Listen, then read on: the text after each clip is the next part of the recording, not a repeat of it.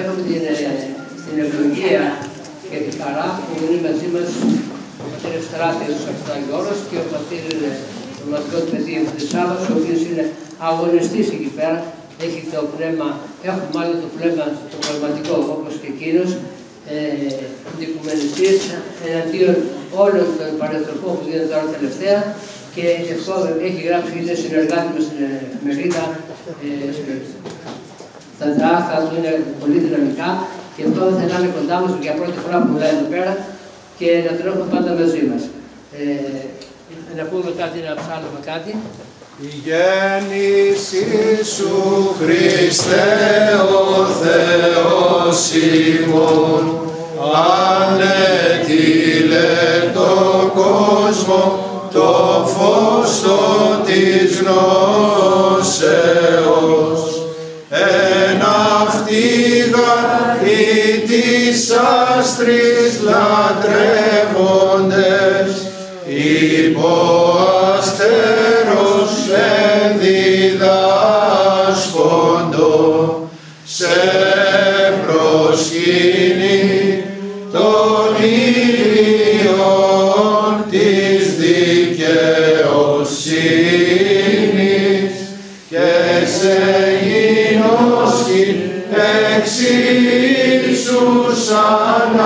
ανατολή Κύριε δόξα Συ, ευλογητός η Χριστέ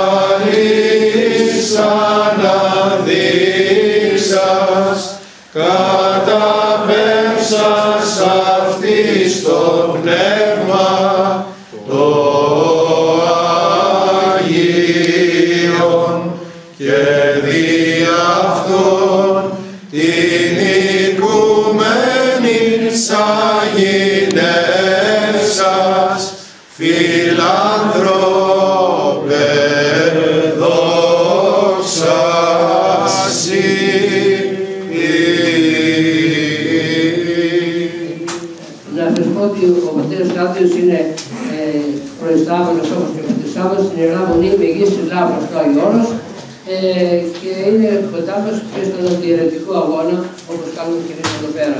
Είναι, είναι δε και προϊστάμενος εδώ στο μετόχι της Μεγής της Λάβρας, στο άξιο νησί, στο, επάνω στη Βαρυγκόλη, στη Γαρυγκόλη. Γαρυγκόλη.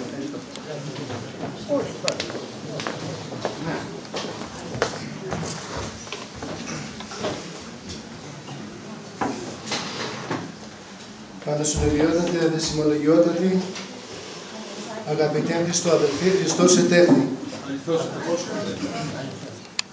Με μεγάλη μου χαρά βρίσκομαι σήμερα κοντά σας, ανταποκρινόμενος στην πρόσκληση των αγαπητών αδελφών και συναγωνιστών και συνεχιστών του θερέστου έργου των φλογερών αγωνιστών της πίστεως, μακαριστών αρχιμαδητών Χαραλάμπους Βασιλοπούλου και Μάρκου Μανώλη και φυσικά με την ευλογία του γέροντός μου και του πνευματικού μου πατέρα, Ευστρατήριο Μονάχου του Λαμπριώτου. Εμείς οι μοναχοί δεν συνηθίζουμε να δίνουμε εύκολα διαλέξεις και να ομιλούμε σε συγκεντρώσεις. Και αν πρέπει να ωφελήσουμε κάποιον, προσπαθούμε να το κάνουμε μέσα από το παράδειγμα της μοναχικής ζωής μας και της προσευχής μας. Όμως, καμπτώμενοι από την Χριστό αγάπη, σπέβδουμε να ικανοποιήσουμε την παράκληση αυτή συμβάλλοντας, συμβάλλοντας στο θεάριστο έργο σας και καταθέτοντας το Κυριακό μας δίλεπτο. Προσφυλέστατη εν Χριστώ αδελφοί μας, η γέννηση του Χριστού μας αποτελεί κορυφαίο μυστήριο της Ορθοδόξου Εκκλησίας μας, που υπερβαίνει όλα τα γεγονότα και τα μυστήρια του κόσμου. Και ο Απόστολος Παύλος στην προτιμόθεων επιστολή του μας τονίζει και ομολογουμένος μέγα εστίτο της ευσεβίας μυστήριων Θεός εφανερώθη σαρκή. Μέσα σε αυτό το μυστήριο, όπως γράφει ο θεολογικότατος Άγιος Ιωστίνος ο Πόποβιτς, περιέχεται ολόκληρο το Ευαγγέλιό του και όλη η Εκκλησία του και κάθε τι που βρίσκεται μέσα σε αυτήν. Όλα τα Άγια Μυστήρια και όλες οι Άγιες Αρετές και μέσα σε αυτές όλες οι Άγιες Θεϊκές Δυνάμεις, από τη γέννηση του Σωτήρα Χριστού στη γη, όλο το πλήρωμα της θεότητος, όλος ο Θεός, βρίσκεται σωματικά παρόν στο δικό μας ανθρώπινο κόσμο για να γεμίσουμε εμείς με αυτό το πλήρωμα της θεότητας. Και ο Άγιος Γρηγόριος ο Θεολόγος, Πατριάρχης Κωνσταντινούπολεως, αναφωνεί «Χριστός γεννάτε, δοξάσατε, Χριστός εξ ουρανών απαντήσατε, Χριστός επί γης υψώθητε, άσετε το Κυρίο πάσα η γη και η αμφότερα συνελών ύπο, ευρενέστοσαν οι ουρανοί και αγαλιάστο η γη, δια των επουράνιων ή τα επίγειων. Καγώ βοήσω με της ημέρας στην δύναμη.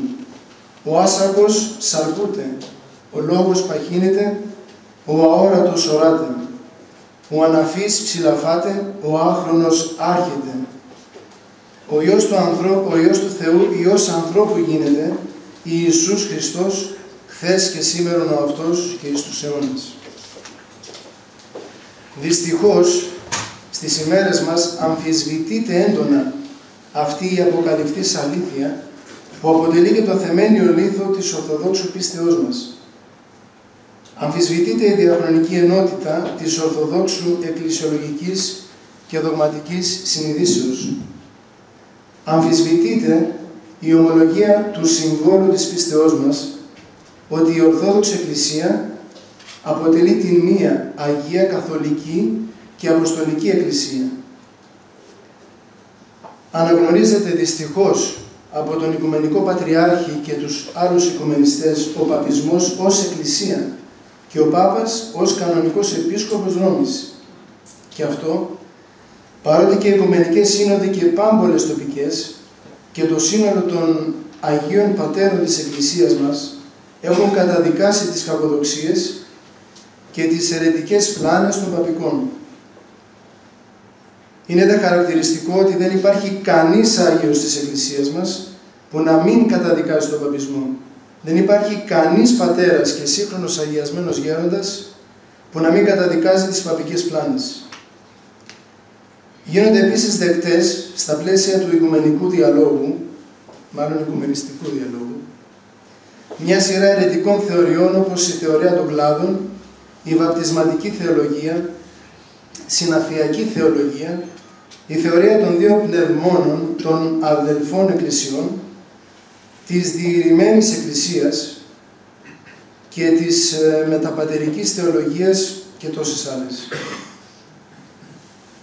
Η απειλή λοιπόν αυτή κατά της σαμωμή του πίστεώς μας και η αλλίωση των δογμάτων μας ανάγκασε να μετατρέψουμε το θέμα της απόψινής μας ομιλίας που αρχικά αφορούσε την μεγάλη δεσποτική εορτή των Χριστουγέννων, την Μητρόπολη των εορτών για μας τους χριστιανούς και να ασχοληθούμε με το φλέγο ζήτημα της διασαλέψεως των δογμάτων της πίστεώς μας. Αυτή η μεγάλη και σοβαρή απειλή άλλωστε ήταν που μας οδήγησε μαζί και με άλλους Αγιορείτες Πατέρες και αδελφούς στην έκδοση του ομολογιακού μας περιοδικού Άγιον Όρος Διαχρονική Μαρτυρία στους Αγώνες υπέρ της πίστεως, το οποίο αποτελεί σύνοψη ομολογιακών κειμένων και τοποθετήσεων του Αγίου Όρους έναντι των οικουμενιστικών ανοιγμάτων και ατοπιμάτων του Οικουμενικού Πατριάρχου από τα μέσα ήδη της δεκαετίας του 60. Και θα θέλαμε στο σημείο αυτό να ευχαριστήσουμε εκ βάθους καρδίας τους υπευθύνους της εφημερίδος Ορθοδόξου Τύπου για την έκδοση σε ηλεκτρονική μορφή του πολύτιμου και δυσέβρετου αρχιακού υλικού της εφημερίδος μιας ολόκληρης πεντεκονταετίας. Από το υλικό αυτό, άλλωστε, αντιλήσαμε και εμείς το μεγαλύτερο μέρος των αγιορητικών ομολογιακών κειμένων του παρελθόντος, τα οποία και οφείλουν να αποτελούν τον οδοδείκτη και για τους σύγχρονους αγιορείτες μοναχούς και όχι μόνο. Το σοβαρό λοιπόν ζήτημα που απασχολεί όλους μας είναι η διαφύλαξη και η ομολογία της πίστεώς μας απέναντι στην πανέρεση του οικουμενισμού, την προδοσία που συντελείται στις ημέρες μας, αλλά και το πώς πρέπει να αντιμετωπίσουμε αυτήν την κατάσταση τόσο σε προσωπικό όσο και σε συλλογικό επίπεδο. Η σύγχρονη λοιπόν μάστιγα του συγκριτιστικού, διαχριστιανικού και διαθρησκιακού οικουμενισμού εντάσσεται στο συλλογικό κίνημα της νέας εποχής, της νέας τάξεως και αντιμάχεται ευθέως την ορθόδοξη δογματική αλήθεια και διδασκαλία της Εκκλησίας μας. Σχετικοποιεί την έννοια της θεότητος και αλλοιώνει το αληθινό πρόσωπο του μοναδικού Θεού και σωτήρα μας Ιησού Χριστού. Ακούμε έτσι συχνά για τον κοινό Θεό όλων των χριστιανών, ορθοδόξων και ετεροδόξων ή για τον κοινό Θεό των μονοθεϊστικών θρησκειών, χριστιανισμού, Ιουδαϊσμού και μουσουλμανισμού ή ακόμα συχνότερα για τον Μεσσία, τον δάσκαλο, τον προφήτη όπως λένε, που επαγγέλλονται οι ποικίλες αιρέσεις και παραθρησκείες των ημερών μας. Μέσα λοιπόν από απαράδεκτους συγκερασμούς και σχετικοποιήσεις της αληθείας και των δογμάτων επιβάλλεται σήμερα μία ονειδίζουσα διάσταση του οικουμενισμού η οποία παγιώθηκε στις ημέρες μας και στηρίζεται σε καθαρά νεοεποχήτικη λογική. Με βάση λοιπόν αυτήν την νεοεποχήτικη και ονειδίζουσα τακτική, η αλήθεια και η ακρίβεια της Ορθοδόξου πίστεώς μας απογυμνώνεται από τον αποκαλυπτικό και σωτηριολογικό της χαρακτήρα, αφού εξομοιώνεται με την αίρεση, την οποία αναγνωρίζει ως μια άλλη εκδοχή της αληθείας. Και όλα αυτά γιατί πλησιάζουμε το γεννηθέντα θεάνθρωπο ανθρώπινα, μέσα από τα στερεότυπα της εκοσμικευμένης λογικής μας. Όπως τονίζει ο Απόστολος Παύλος, είδε και ευνόκαπεν Χριστόν κατά σάρκα, αλλά νυν ουκέτη γινόσκομεν. Είναι ο παραμορφωμένος Χριστός, του ορθολογισμού και της νοησιαρχίας της Δύσεως. Ο παραμορφωμένος Χριστός του οικουμενισμού, του ψευδοχριστιανισμού και των ψευδοεκκλησιών, που με τόση ενάργεια περιέγραφε ο σύγχρονος Άγιος και μεγάλος δοματολόγος της Εκκλησίας μας, Ιουστίνος Πόποβιτς. Ο οικουμενισμός, έλεγε, είναι κοινό όνομα δια τους ψευδοχριστιανισμούς, δια τας ψευδοεκκλησίας της Δυτικής Ευρώπης. Μέσα του ευρίσκεται η καρδιά όλων των ευρωπαϊκών ουμανισμών, με επικεφαλής τον παπισμό. Όλοι δε αυτοί οι ψευδοχριστιανισμοί, όλα η ψευδοεκκλησία, δεν είναι τίποτα άλλο παρά μια αίρεσης παραπλεύρος εις την άλλη αίρεση. Το κοινό ευαγγελικών ονομάτων είναι η πανέρεσης. Τελικά λοιπόν ο οικουμενισμός των ημερών μας δεν στηρίζεται στη δογματική αλήθεια, αλλά είναι απόλυτα ανθρωπομορφικός, ανθρωποκεντρικός και απνευμάτιστος. Αθεολόγητος δηλαδή. Όπως πολύ εύκολα τον περιγράφει ο μακαριστός γέροντας Γεώργιος Καψάνης, ο οικουμενισμός όπως διεξάγεται σήμερα φαίνεται ότι έχει ουμανιστικών, ανθρωποκεντρικών χαρακτήρα και όχι θεολογικών και πνευματικών. Παραμερίζει την πίστη δόγμα και την παράδοση της Εκκλησίας και αποβλέπει περισσότερον εις πρακτικούς σκοπούς. Βλέπει την Εκκλησία κυρίως ως ανθρώπινο ίδρυμα, το οποίο ηνωμένων θα δυνηθεί να αντιμετωπίσει καλύτερον τους εχθρούς του. Μόνον ο όλος Θεάνθρωπος ή μπορεί να σώσει και τον όλον άνθρωπο. Εν ονόματι αυτού του όλου Θεανθρώπου Χριστού και του όλου σώματός του, της Ορθοδοξίας, δεν δυνάμεθα να διαπραγματευθόμεν επί ίσης όρους με τους παραμορφωμένους Χριστούς των Δυτικών, Ρωμαιοκαθολικών και Προτεσταντών. Αυτά τα είχε πει το 1996. Και ο μεγάλος Ορθόδοξος Ρώσος συγγραφέας Φιοντόρ Ντοστογεύσκη γράφει για τον παπισμό. Έγραφε «Ο καθολικισμός είναι πίστη μη χριστιανική. Ο καθολικισμός της Ρώμης είναι χειρότερος από τον αθεισμό. Ο αθεισμός κηρύττει μονάχα το μηδέν. Ο καθολικισμός όμως προχωρεί πιο πέρα ακόμη κηρύττει ένα διαστρεβλωμένο Χριστό, έναν Χριστό αντίθετο του Χριστού. Κηρύττει δηλαδή τον Αντίχριστο.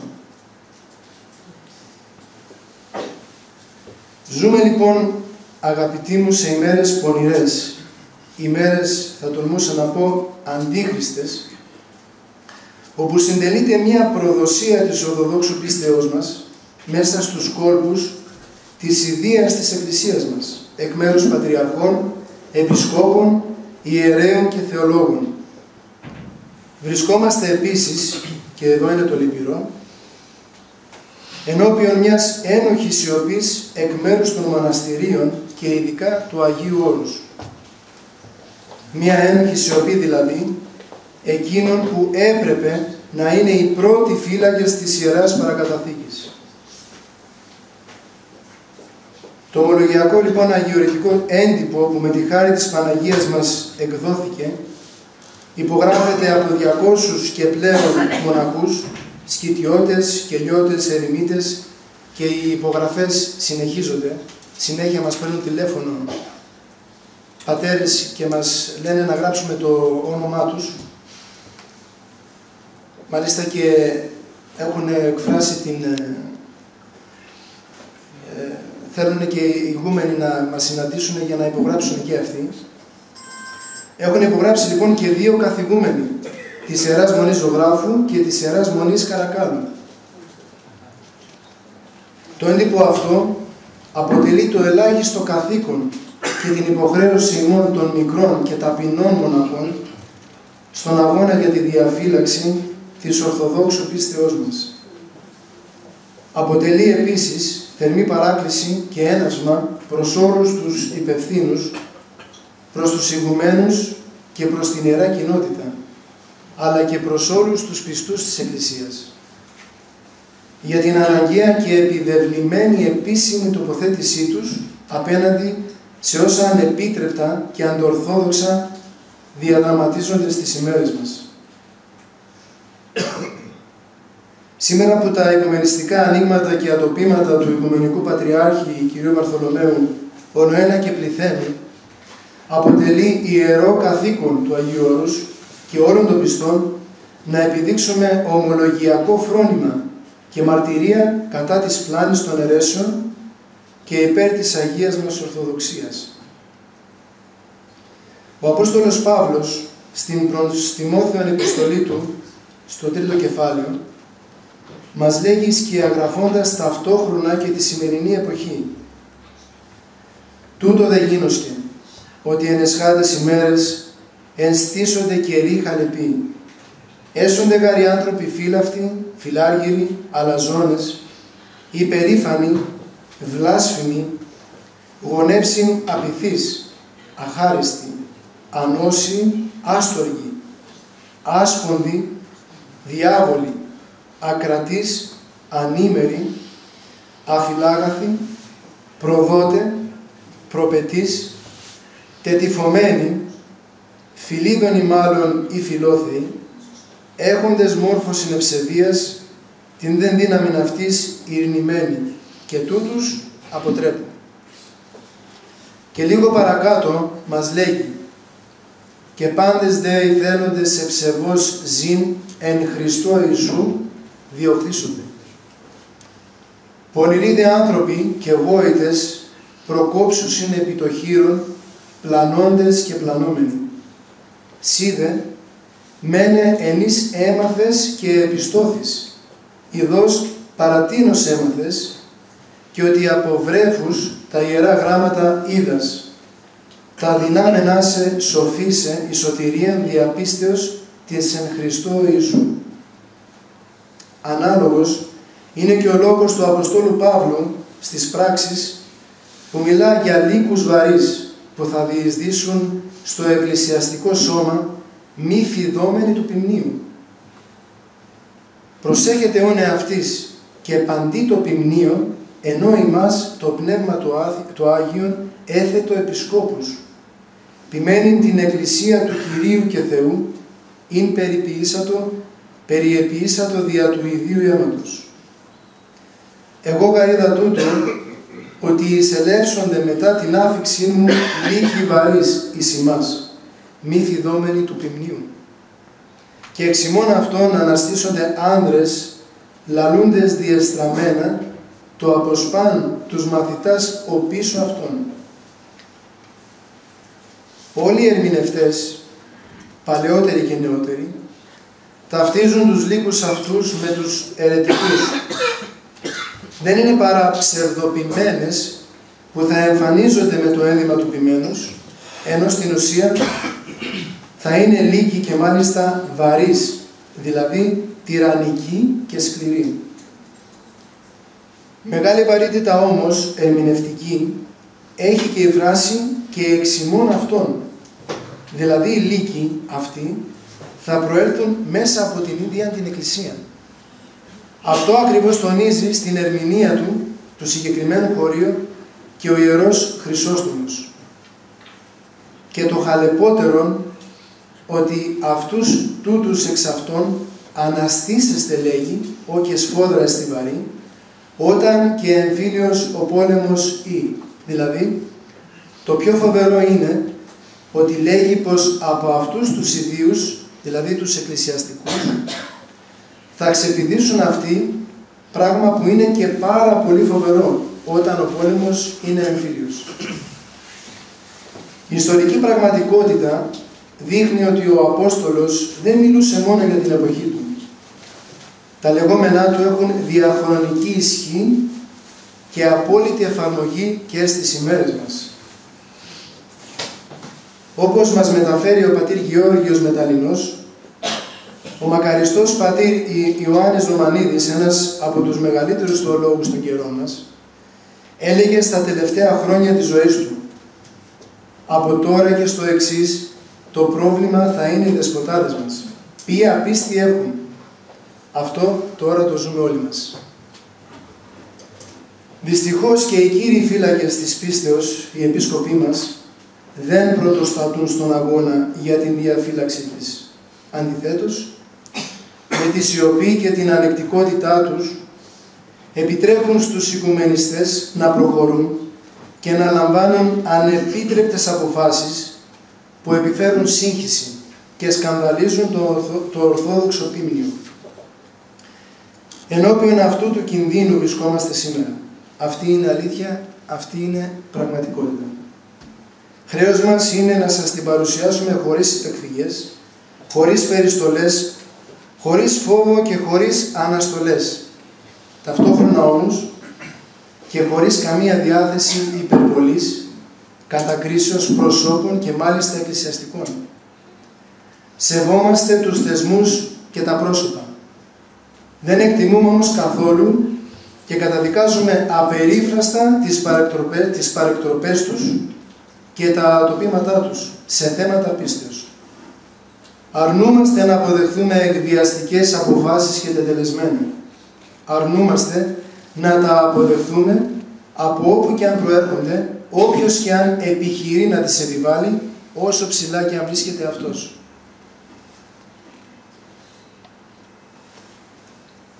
Η αντιμετώπιση των θεμάτων της πίστεως αποτελεί και προσωπική επιλογή και ευθύνη του καθενός μας. Η ομολογία της πίστεώς μας, χάρη τη Θεία, δεν πρέπει να αποτελεί καρπό ενός επιπόλαιου ενθουσιασμού, ενός ένθερμου ζηλωτισμού ή μιας γενικότερης κατακριτικής διαθέσεως.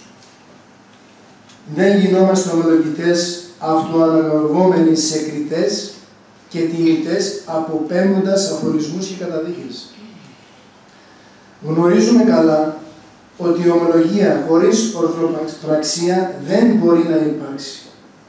Η ομολογία της πίστεως είναι το χάρισμα του Αγίου Πνεύματος που θα δοθεί σε αυτούς που στη διάρκεια της ζωής τους αγωνίζονται με νύψη, με προσευχή, μετάνοια και ταπεινό φρόνημα, να γίνουν δεκτικοί αυτού του χαρίσματος.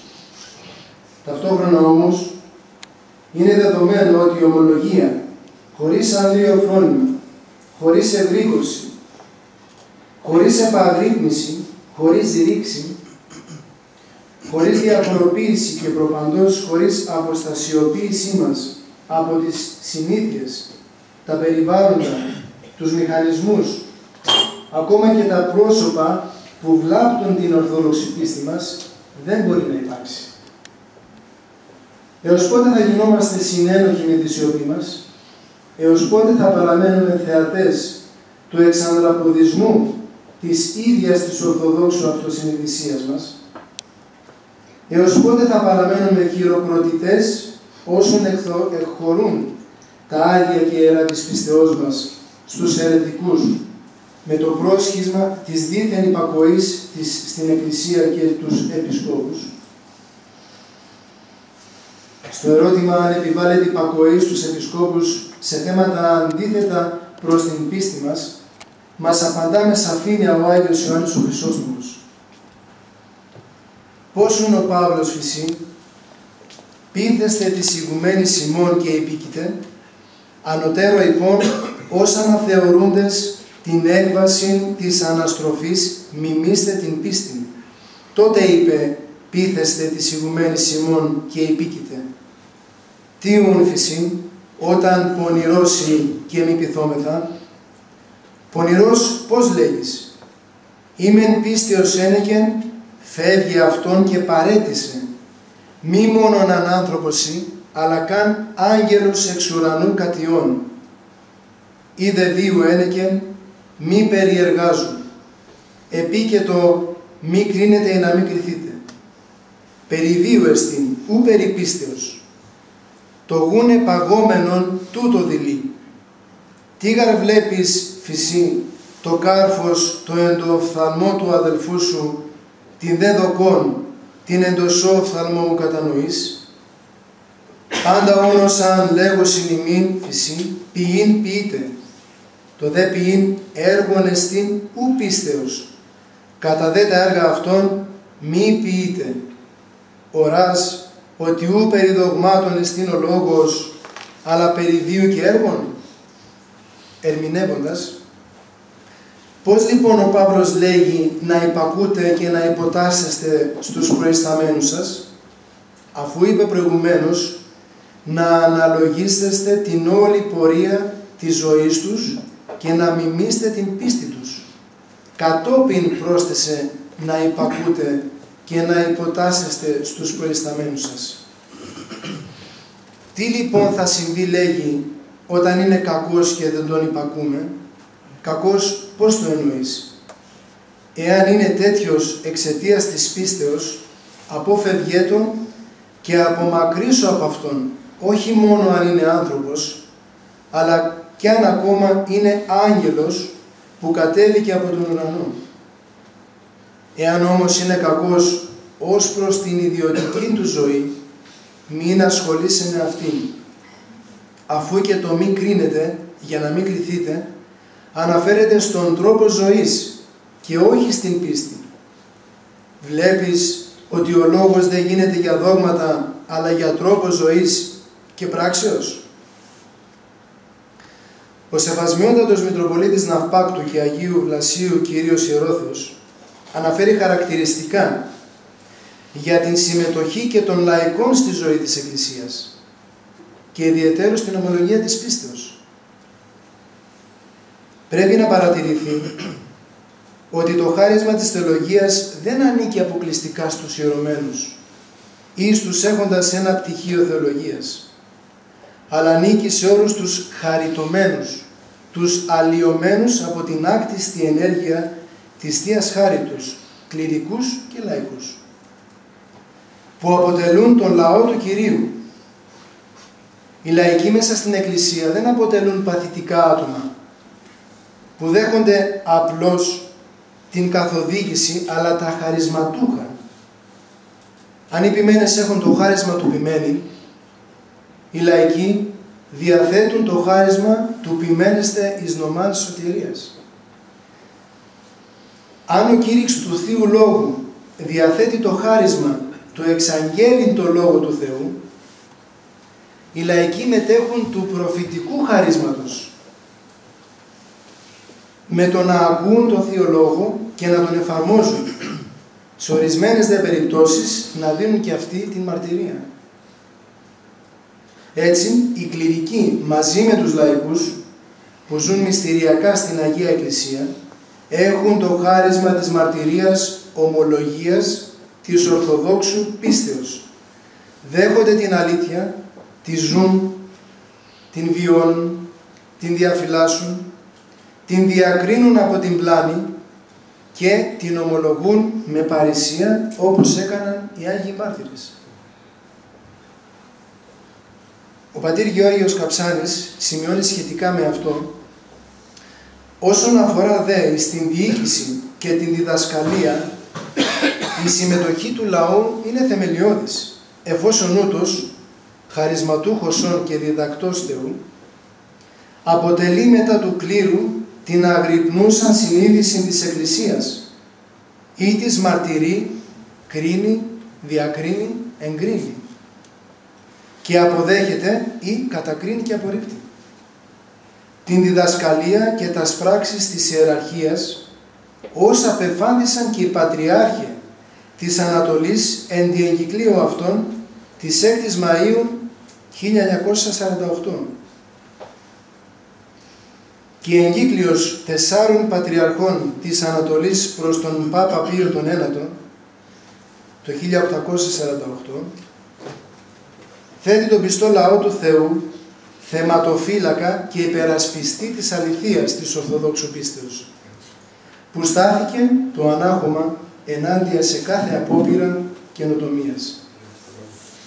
Παριμήν, λέει, ούτε πατριάρχε, ούτε σύνοδοι ενδυνήθησαν ποτέ εις αγαγινέα, διότι ο υπερασπιστής της θρησκείας εστίν αυτό το σώμα της Εκκλησίας, ή, αυτό, ή αυτός ο λαός, ώστε σε θέλει το θρήσκευμα αυτού αιωνίως αμετάβλητον και ομοειδές το των πατέρων αυτού. Αλλά κυρίως το αδιάψευστο στόμα του Κυρίου μας Ιησού μας πληροφορεί ότι πάσουν ως της ομολογής εν εμή έμπροστε των ανθρώπων, ομολογήσω καγώ εν αυτό, έμπροστε του πατρός μου του ενουρανής. Θέτοντας την ομολογία, όχι μόνο ως υποχρέωση των χριστιανών, αλλά και ως προϋπόθεση της σωτηρίας μας. Προσφυλέστατε αδελφοί μας, η ακενοτόμητος αλήθεια της Αγίας Πιστεώς μας, η ελπίδα πάσης της οικουμένης και κυβωτός της σωτηρίας μας, η Αγία Ορθόδοξη Εκκλησία μας ζει και θα ζει στους αιώνες, γιατί έχει κεφαλή και Κύριό της τον Αναστάντα Κύριο Ιησού Χριστό. Γι' αυτό και δεν αλλοιώθηκε ποτέ και ούτε την έβλαψαν στο ελάχιστο τόσες και τόσες αιρέσεις και διωγμοί στο διάβα της ιστορίας. Γι' αυτό και δεν θα τη βλάψουν ούτε οι σύγχρονες επιβουλές και δοξασίες. Αυτοί που βρίσκονται σε κίνδυνο είμαστε εμείς, οι χριστιανοί, που υστερώντας την πνευματική ζωή, την ύψη, τη μετάνοια, την προσευχή, την ταπείνωση, την ανεξικακία, την συγχωρητικότητα και την αγάπη, γινόμαστε εύκολο θύραμα των ψευδοποιημένων που λιμένονται την Εκκλησία του Χριστού. Πιστεύουμε ότι αν βρισκόταν ανάμεσά μας ο μακαριστός πατήρ Επιφάνιος Θεοδωρόπουλος θα απίφθινε μαζί και με το ορθόδοξο πλήρωμα προς τους Ορθοδόξους που ηγούνται των συγχρόνων οικουμενιστικών ανοιγμάτων τα ίδια εκείνα συγκλονιστικά λόγια που απίφθινε προς τον Πατριάρχη Αθηναγόρα. Προχωρήσατε ήδη πολύ. Υπόδεση μόν ψάβουση πλέον τα ρήθρα του Ρουβίκονος. Η υπομονή χιλιάδων ευσεβών ψυχών, κληρικών και λαϊκών, συνεχώς εξαντλείται. Δια την αγάπη του Κυρίου οπισθοχωρήσατε. Μη θέλετε να δημιουργήσετε αντιεκκλησία σχίσματα και διαιρέσεις. Πειράστε να ενώσετε τα διεστώτα και το μόνον όπερ θα κατορθώσετε θα είναι να διασπάσετε τα ενωμένα και να δημιουργήσετε ρήγματα εις εδάφη έως σήμερον στερεά και συμπαγή. Σύνετε και συνέλθετε, αλλά φεύγετε. Διηνύσατε πολλήν οδόν. Ήδη προσεσπέραν εστί και κέκλικεν ημέρα.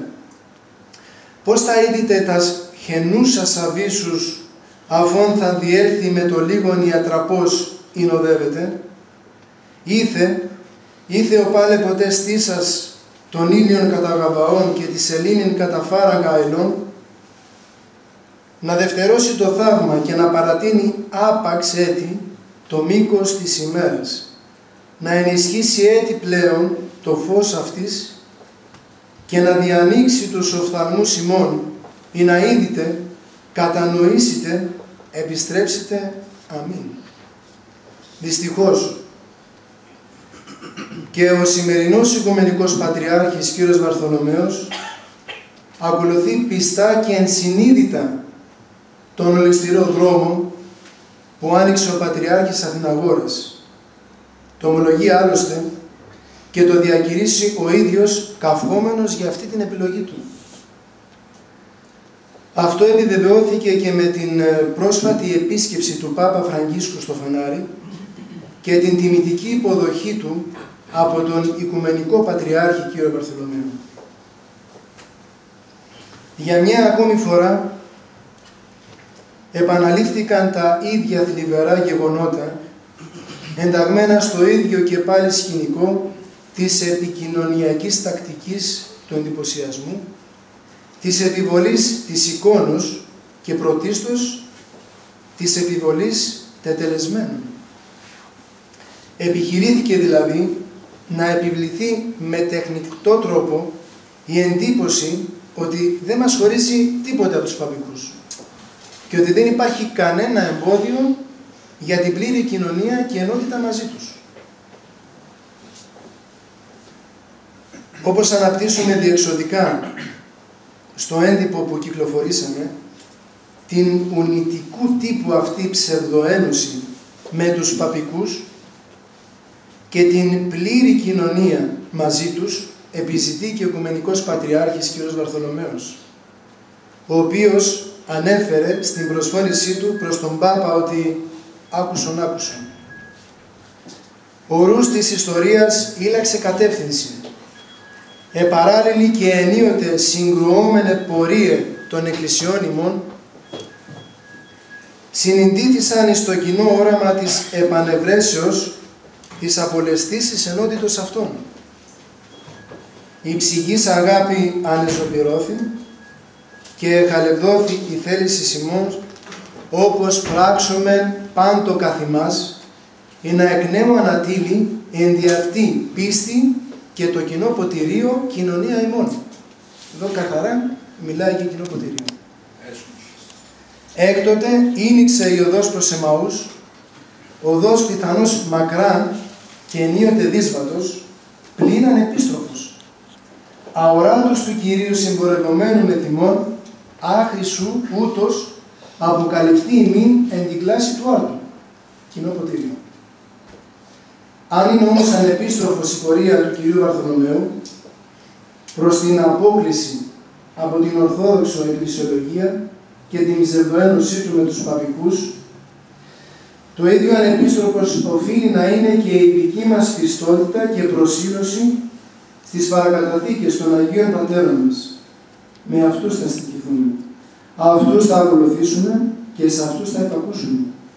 Με ασφαλές κριτήριο την ορθόδοξη, δογματική και εκκλησιολογική μας συνείδηση. Αυτό φρονούμε, αυτό ομολογούμε και διακηρύσουμε προς κάθε κατεύθυνση όλοι όσοι συνυπογράφουμε το αγιορείτικο ομολογιακό αυτό Και σε αυτή τη θέση μας, με τη χάρη του Θεού, παραμένουμε και θέλουμε να παραμένουμε πιστοί και αμετακίνητοι. Παραμένουμε πιστοί και αμετακίνητοι στην πίστη των Αγίων και των Πατέρων μας. Οι προφήτε ως είδων, οι Απόστολοι ως εδίδαξαν, η Εκκλησία ως παρέλαβε οι διδάσκαλοι ως εδογμάτισαν, οι οικουμένοι ως συμπεφώνηκεν, η χάρις ως έλαμψεν, η αλήθεια ως αποδέδεικτε, το ψεύδος ως απελήλατε, η σοφία ως επαρισιάσατο, ο Χριστός ως ευράβευσεν.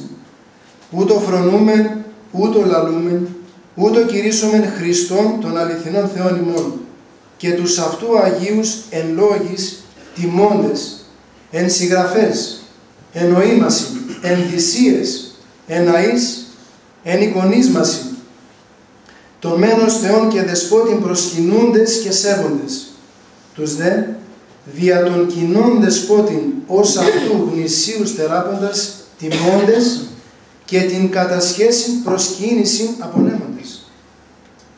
Αυτή η πίστη των Αποστόλων, αυτή η πίστη των Πατέρων, αυτή η πίστη των Ορθοδόξων, αυτή η πίστη την οικουμένη εστήριξε.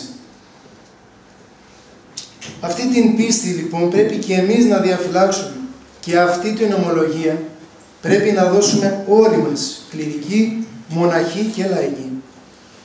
Ως συνειδητοί ορθόδοξοι χριστιανοί, οφείλουμε να αντιδρούμε στην πανέρηση του οικουμενισμού.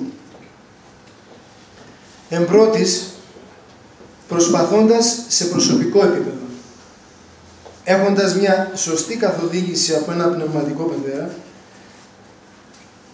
με την προσευχή και με το πατερικό πρόσεχε σε Αυτόν, με πνευματική ζωή, νηστεία και τήρηση των εντολών του Θεού.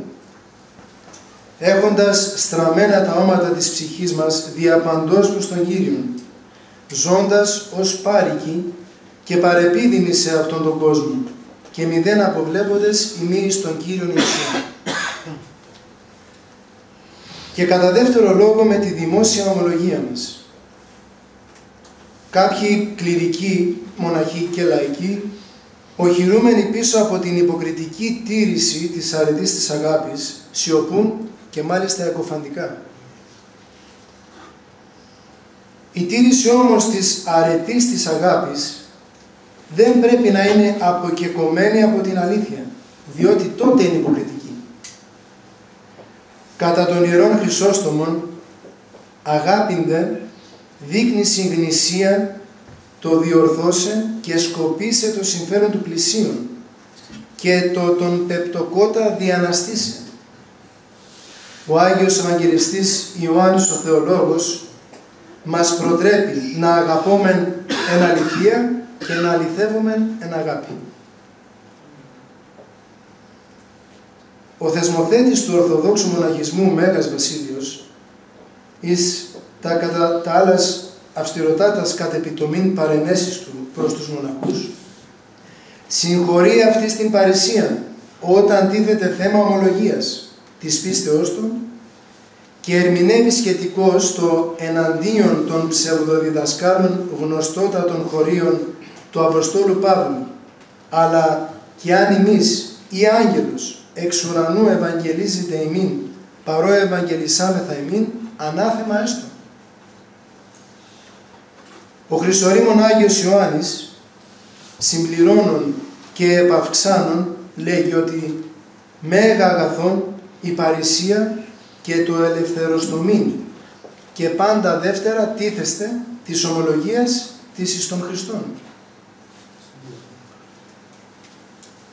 Ο, Πανεπιστήμιο, ο Πανεπιστήμων Όσιος Πατήρ Μόνα Αθανάσιος, ο Αθωνίτης, αποδίδοντας μεγίστην αξία εις την μετάδοση αλοβήτων των αληθιών της πίστεώς μας εις τους επιγενωμένους, ίδρυσε ειδικά κελία, τα οποία ονόμασε παιδευτήρια και επεφόρτησε τους σιγουμένους του λόγου, δηλαδή τους περί τα θεολογικά εγκρατεστέρους των μοναχών, να κατηχούν τους απλωστέρους και αμαθεστέρους των αδελφών του.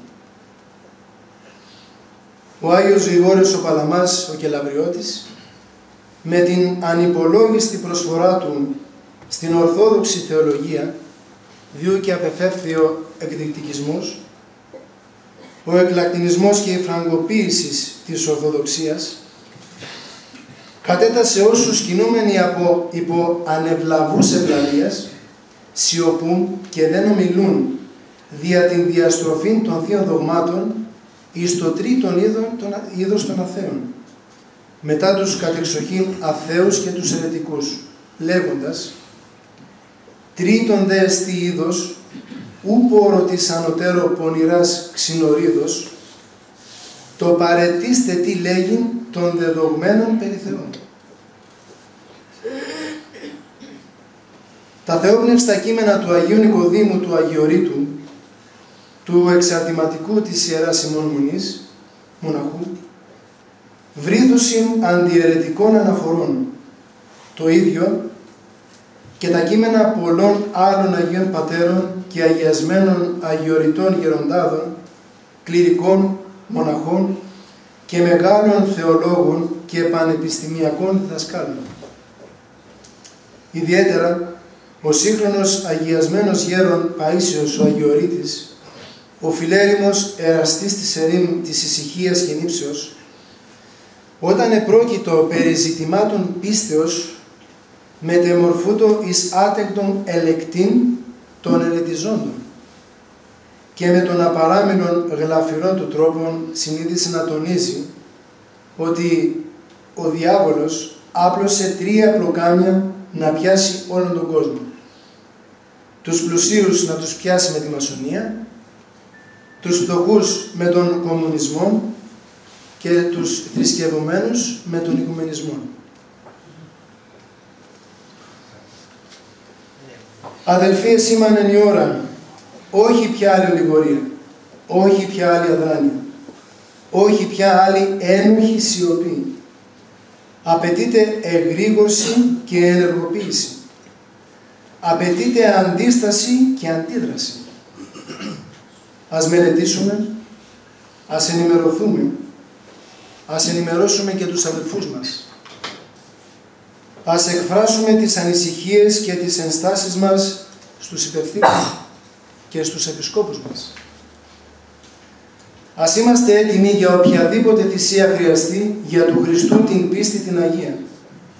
Ας προσευχηθούμε να φωτίσει ο Θεός όσους λαμβάνουν τις αποφάσεις, όλο τον Ορθόδοξο λαό και εμάς, ώστε να πράξουμε τα θεάριστα και όχι τα ευάριστα και τα πρέποντα και να αναδείξει ατρόμητους και φλογερούς ομολογητές της πίστεως, ακόμη και μάρτυρες αν χρειαστεί. Σε αυτά τα αποκαλυπτικά χρόνια που ζούμε, πρέπει ο καθένας μας να πάρει την ευθύνη της ομολογίας του και να συνταχθεί είτε με τον Χριστό είτε με τον Αντίχριστο. Και την Αγία πίστη μας, να συνταχτούμε στην Αγία πίστη μας και Ορθοδοξία, χωρίς δικαιολογίες, υπεκφυγές και διπλωματίες, είναι ανομονία ομολογούμε Πατέρα Υιόν και Άγιο Πνεύμα, τριάδα ομοώσιων και αχώριστον, ο η δόξα και το κράτος εις τους αιώνας. Αμήν. Αυτά τα ολίγα.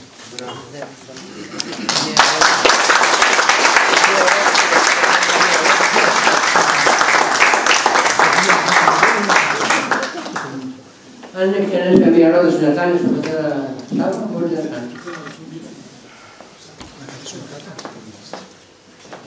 Θα ρωτήσω εγώ κάτι. Ναι. Είπατε αντίδραση και αντίσταση.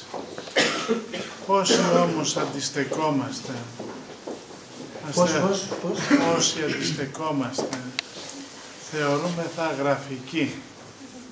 Έτσι, ένα. Το δεύτερο που θέλω να σας ρωτήσω είναι η αντίδραση αυτή πρέπει να οργανωθεί συλλογικά, δηλαδή πρέπει να υπάρξει ένα κέντρο, μια οργάνωση ή ο κάθε ένας μόνος του. Να απαντήσουμε στο πρώτο. Γραφικούς και αμαθείς και μωρούς λέγανε και τους Αποστόλους. Και λέγανε και λένε όσους αγωνίζονται υπέρ της πίστεως. Ναι. Αυτό είναι κάτι το οποίο είναι αναμενόμενο. Και το περιμένουμε και είναι και απόδειξη της γνησιότητας του αγώνα μας. Γιατί όπως είπαμε προηγουμένως, οι θέλοντες ζήνε ευσεβώς εν Χριστώ Ιησού διοχθήσονται. Είναι κάτι το οποίο αναμένουμε. Και δεν μπορούν και να πούνε και τίποτα άλλο. Τι να πούνε. Μόνο λάσπη μπορούν να ρίξουν. Αυτό είναι αναμενόμενο. Αλλά γι' αυτό για μας είναι κάτι το οποίο είναι πάρα πολύ παρήγορο και ευχάριστο. Διότι μας λέει ο Χριστός ότι μακάρι εστε όταν ονειδήσουσιν εμάς και διώξουσιν και ύποσιν παν πονηρό ρήμα ψευδόμενοι καθημών ένε και νεμού. Χαίρεται και αγαλιάστε ότι μισθό ημών πολύ εν της ουρανής. Λοιπόν, αυτό είναι αναμενόμενο για μας και είναι κακό για αυτούς, καλό για μας. Και α- αποδεικνύει τη γνησιότητα του αγώνα μας. Τώρα για το δεύτερο. Συλλογικό ή μεμονωμένη αντίδραση. Θέλει και συλλογικό και μεμονωμένο αγώνα. Μεμονωμένο πρέπει προσωπικά ο καθένας μας, όπως είπαμε προηγουμένως, γιατί τα θέματα αυτά είναι πνευματικά. Έχει να κάνει και με τη δικιά μας πνευματική κατάσταση. Διότι και εμείς σαν χριστιανοί σήμερα γινόμαστε αιτία και βλασφημείτε το όνομα του Θεού. Πολλοί βλέπουμε τους χριστιανούς και λένε εγώ έτσι θα γίνω. Κάποιοι που δεν είναι. Λοιπόν, εμείς έτσι μάθαμε. Από τους γεροντάδες μας ότι πρώτα πρέπει να κοιτάξουμε τον εαυτό μας. Και πρέπει να το κοιτάμε συνέχεια. Διότι η μετάνοια δεν έχει τέλος. Και είναι μια αρετή η οποία εργάζεται συνεχώς η μετάνοια, η κάθαρση της καρδιάς μας. Αφού εργαζόμαστε πνευματικά, όπως είπαμε και προηγουμένως, τότε μπορούμε και έρχεται και η αγάπη για τον Χριστό για να μπορούμε να κάνουμε και την ομολογία μας. Γιατί η ομολογία δεν μπορεί να γίνει αν δεν υπάρχει αγάπη για τον Θεό. Πώς μπορούμε να κάνουμε νηστεία αν δεν ξέρουμε για ποιο λόγο την κάνουμε; Μπορείς να την κάνεις. Γι' αυτό και οι Άγιοι κάνανε εξωφρενικά πράγματα, διότι από τον θείο έρωτα δεν, προσπαθούσαν να βρουν τρόπους ασκήσεως για να καταλεπορήσουν το σώμα τους και να δείξουν την αγάπη τους προς το Θεό. Λοιπόν, και εμείς τα ταλέποροι προσπαθούμε να δείξουμε την αγάπη μας προς το Θεό και να πάρουμε λίγο χάρη με αυτό το ομολογιακό αγώνα που προσπαθούμε να κάνουμε. Αυτό λοιπόν έχει, είναι κυρίως πρω, πρωτίστως πρέπει να εργαζόμαστε σε προσωπικό επίπεδο.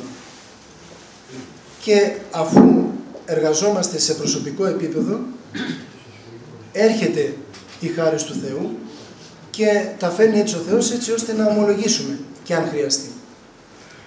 Έτσι μου έλεγε και ο Γέροντας συνέχεια. Μην μιλάς, μην μιλάς στην αρχή. Ναι. Μην μιλάς, μην μιλάς, γιατί και εγώ ήθελα να μιλάω και να μιλάω. Αλλά μου έλεγε τι ξέρεις εσύ από αυτά; Και είχε δίκιο. Λοιπόν, όταν όμως έχουμε κάποιες θέσεις και αποκτάμε κάποια εμπειρία, πρέπει οπωσδήποτε να μιλήσουμε, γιατί οι οποίοι είναι ένοχοι. Αλλά πρωτίστως πρέπει να κοιτάξουμε την προσωπική μας κατάσταση. Ο Θεός από εμάς ζητά την δικιά μας σωτηρία πρωτίστως και μετά αν έχουμε κάποια δύναμη να μπορέσουμε να την να ωφελήσουμε. και κάτι ακόμα και αμέσως μετά να συνεχίσουμε να είπατε ότι προωθείτε η ψευδοένωσης με ουνητικό τρόπο, με ουνητικό τρόπο.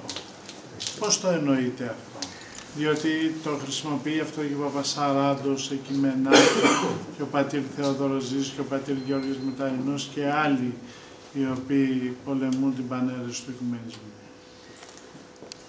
Η ένωση για να γίνει είναι αδύνατο. Αυτοί την έχουν κάνει την ένωση, απλώς μας το αποκρύβουν.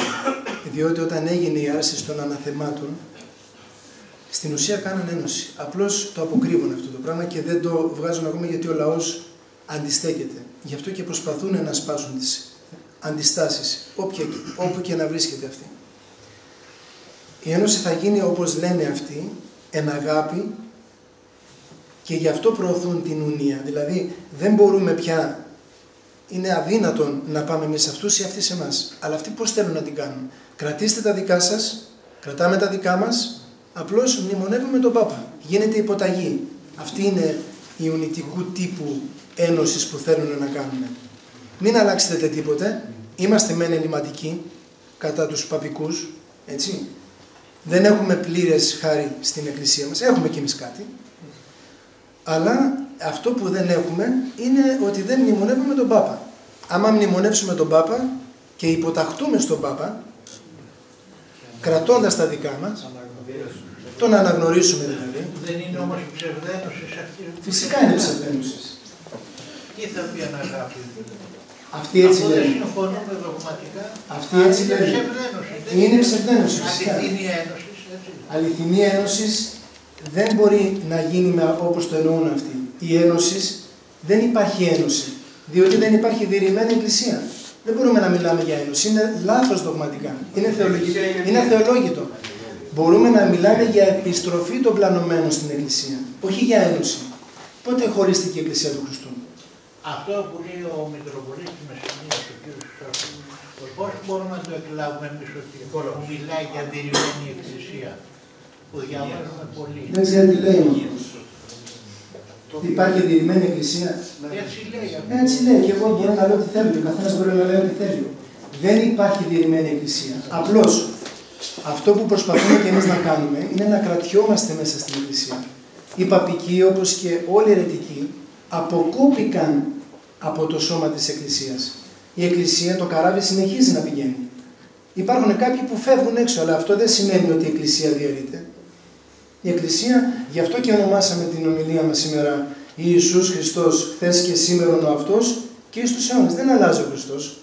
Ούτε η οδός καθάρσεως φωτισμού και θεώσεως αλλάζει, ούτε ο δρόμος που, σώζουν, που σώζονται. Ότι είναι στενή και τετλημένη οδός, ούτε τα δόγματα. Δεν υπάρχει αλλαγή. Αν θέλουν, μπορούν να προσέλθουν στην Ορθόδοξη πίστη, να βαπτιστούν, διότι η αιρετική είναι αβάπτιστη. Καταλάβατε; Δεν υπάρχει διηρημένη εκκλησία. Αυτό που λένε διηρημένη εκκλησία, εν ολίγης, είναι βλασφημία κατά του Αγίου Πνεύματος. Αυτοί οι άνθρωποι χάνουν τη χάρη. Πρέπει να τους μοιρώσουν πάλι. Είναι αιρετικοί. Είναι ενδυνάμει αιρετικοί, όχι είναι Άρα είναι ένας δεύτερος Άριος ο, ο Μεσσηνίας. Κοιτάξτε να δείτε. Έλεγε ο Ιωστίνος, ο... μακάρι να ήταν μόνο Άριος. Ο Ιωστίνος, ο, Ιωστίνος ο Πόποβης, ξέρετε τι έλεγε, ότι ο οικουμενισμός είναι πανέρεσης, διότι περικλείονται όλες οι αιρέσεις. Ο Άριος είχε μία αίρεση, ευλασιμούσε στον Υιό. Οι Μακεδόνοι ήταν πνευματομάχοι, έτσι, και να μην αναφέρουμε. Ο οικουμενισμός περιέχει όλες τις αιρέσεις, γι' αυτό και είναι και πανέρεσης. Γι' αυτό και είναι το άρμα που θα καθίσει ο Αντίχριστος για να έρθει διότι πρέπει να διαλυθούν όλα, να μην υπάρχει αντίσταση, έτσι ώστε να προετοιμαστεί ο δρόμος του. Έτσι όπως προετοιμάστηκε για τη γέννηση του Κυρίου μας, όταν, από τον, μετά τη γέννηση του Κυρίου μας από τον Ιωάννη τον πρόδρομο, έτσι προσπαθούν τώρα με το προδρομικό αυτό οικουμενιστικό, ε, με την οικουμενιστική αίρεση αυτή του, να, να ετοιμάσουν τον, το δρόμο του Αντιχρίστου. Απλά πράγματα. Είναι κάτι που επισφεύδεται όμως. Συνεχώς. Δηλαδή κάνουν άρματα, λες και βιάζονται. Ε, φυσικά αυτό συμβάλλει και τεχνολογία. Αλλά ε, βλέπουμε ότι αυτό το πράγμα είναι κάτι απίστευτο που γίνεται. Όχι, τόνισε ο Οικουμενικός Πατριάρχης ότι υπάρχει πάρα πολύ μεγάλη ανάγκη να γίνει τώρα. Δηλαδή, μια κίνηση να τα βρούμε μεταξύ μας. Παπική και Ξέρετε, Ορθόδοξη. αυτό το συζητούσαν με κάποιους πατέρες μέσα στο Άγιο Νόρος και γι' αυτό κάναμε και αυτή την κίνηση με την ευλογία πρωτίστως του γέροντα του πατρός Εστρατείου. Διότι αυτοί βλέπουν ότι οι αντιστάσεις έχουν καμφθεί. Στην συνάντηση που κάνουμε με τον ε, Πάπα, ο Πατριάρχης, στα Ιερουσόλυμα, δεν ακούστηκε φωνή. Ειδικά από το Άγιον Όρος. Οπότε λένε ότι κάμψαμε το φρόνημα. Δεν υπάρχει τίποτα. Και όταν βλέπουν ότι, κάμφθηκε το, βλέπουν ότι κάμπτεται το φρόνημα και ότι δεν υπάρχουν φωνές, τότε αυτοί προχωρούν. Αυτή η σιωπή του Αγίου Όρους πού οφείλεται; Στον φόβο. Στη Τι δική- δηλαδή, θα τους απειλήσει. Εμάς μας απειλούν, κύριε Γιώργο, ότι θα σας καθαρέσουμε. Εμένα με απειλήσαν ότι θα με αποσχηματίσουν, θα με διώξουν. Εντάξει, Μέχρι να με σκοτώσουν υπάρχει απόσταση, αλλά δεν, ε, υπάρχει φόβος για, την, για τη θέση τους. Γι' αυτό και κατηγορηθήκαμε όταν γράψα, έγραψα το πρώτο κείμενο τον Ιούνιο που εκδώσατε, όταν είπα ότι φοβούνται για τις θεσούλες τους. Αλλά ότι υπάρχει μεταπατερικό πνεύμα, δεν υπάρχει πατερικό πνεύμα. Γι' αυτό και επιμένουμε ότι πρέπει να εργαζόμαστε πνευματικά. Όταν εργάζεται ο άνθρωπος πνευματικά, δέχεται το θείο φωτισμό και πράττει τα θεάρεστα και όχι τα ευάρεστα. Μια ερώτηση σας κάνω. Στο μοναστήρι σας, ε, μνημονεύετε τον Πατριάρχη; Μνημονεύουμε. Γιατί δεν το κάνετε όπως το κάνει και η Μονή σήμερα που δεν το μνημονεύετε. Εγώ να μην το μνημονεύω, αλλά άλλος λειτουργεί. 19 μονασ... 20 μοναστήρια είναι τα 19 μνημονεύουν το, το Βαρθολομαίο, μόνο η Μονή σήμερα έχει μείνει και κάποιες σκήτες. Η Μονή Συγμένου όμως έκανε λάθη. Και αυτά τα λάθη ήταν ότι βγήκε από τον αγώνα. Κάνει προσωπικά τον αγώνα της και εμάς μας αφήνει μόνος μας.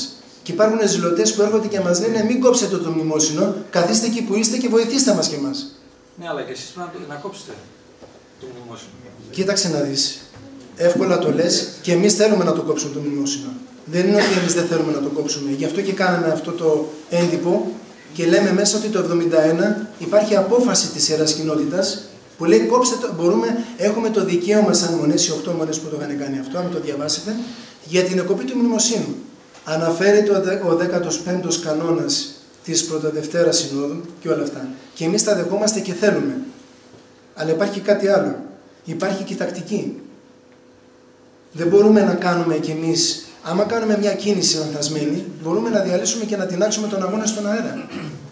Δεν, δεν, πώς; Όπως με την ευθύνη σου, τρικαμινάς. Ναι, δηλαδή και να σου αναφέρω συγκεκριμένα κάτι το, εξ- το οποίο είναι προσωπικό φυσικά, αλλά είναι ενδεικτικό της καταστάσεως. Μόλις έγραψα το πρώτο γράμμα και το δεύτερο, που εκδόθηκε από τον Ορθόδοξο τύπο, με πήρε τηλέφωνο ο Πάτερ Ευθύμιος και μου λέει Τριγαμινάς. Πατ- πα- ο Τρικαμινάς και, κάποια, και κάποια, κάποιοι άνθρωποι από site που έχουν κόψει το μνημόσυνο και βρίζουν κανονικά.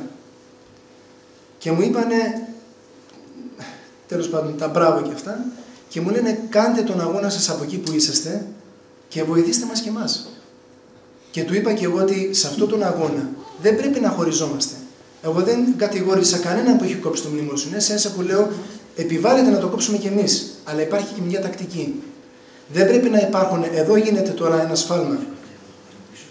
Να μην βγούμε δηλαδή εκτός εκκλησίας. Καλά, δεν βγαίνουμε εκτός εκκλησίας, αλλά υπάρχει μια τακτική. Ε, χωρίζονται οι άνθρωποι, έτσι, αυτοί που κόβουν το μνημόσυνο, αρχίζουν να κατηγοράνε εμάς που δεν κόβουν το μνημόσυνο.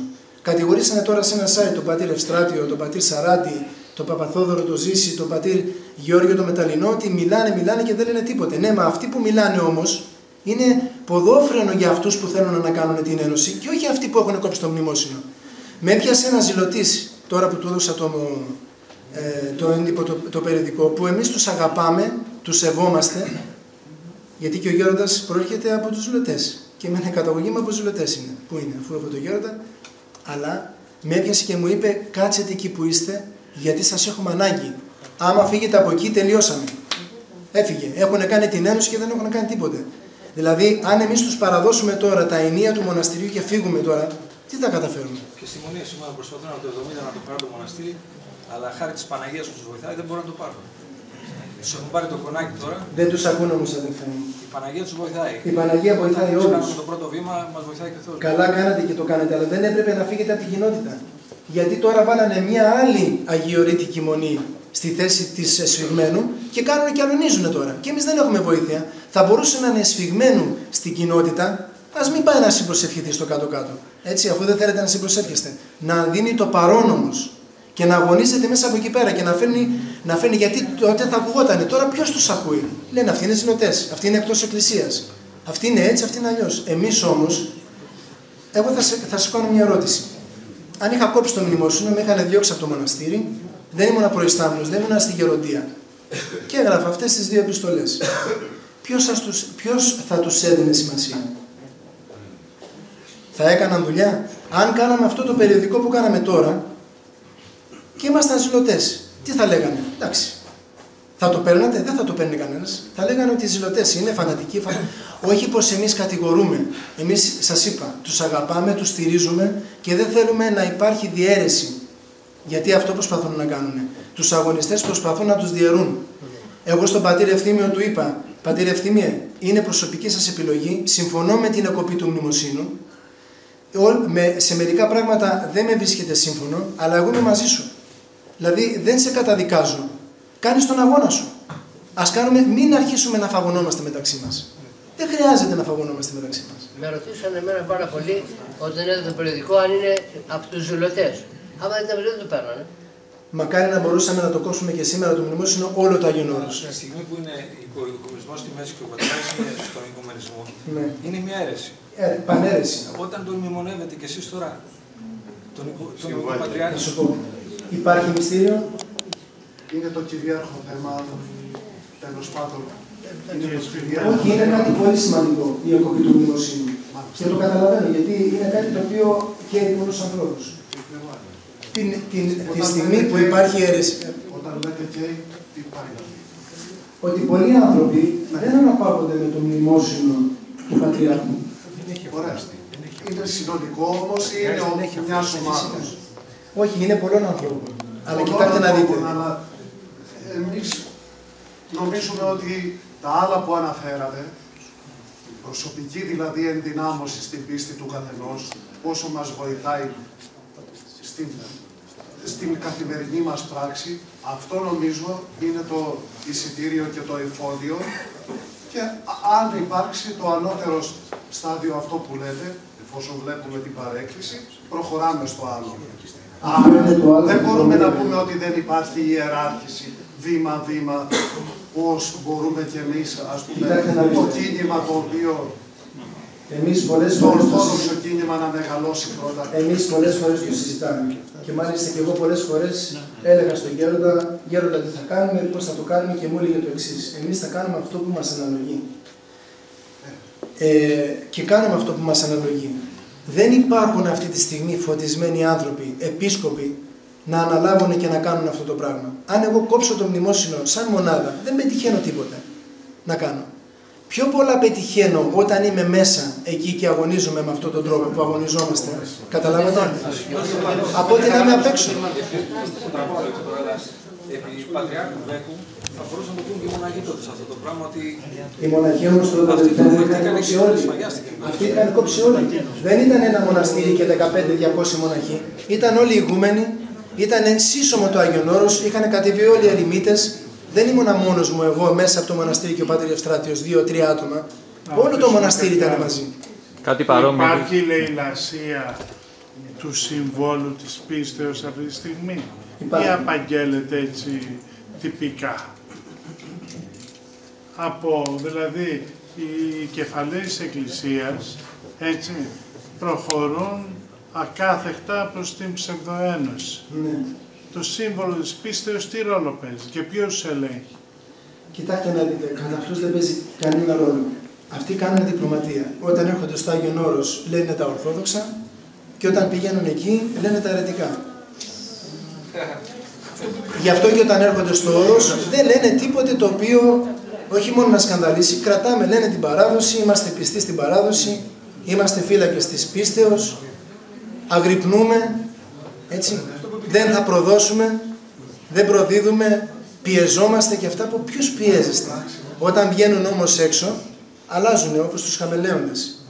Βάζουν άλλη περιβολή, είναι αυτό που λέγαμε ότι ειρνήθηκαν την δύναμη της ευσεβίας μέσα. Έτσι, και λένε αυτά που λένε. Ναι, ναι. Εδώ ψάξτε.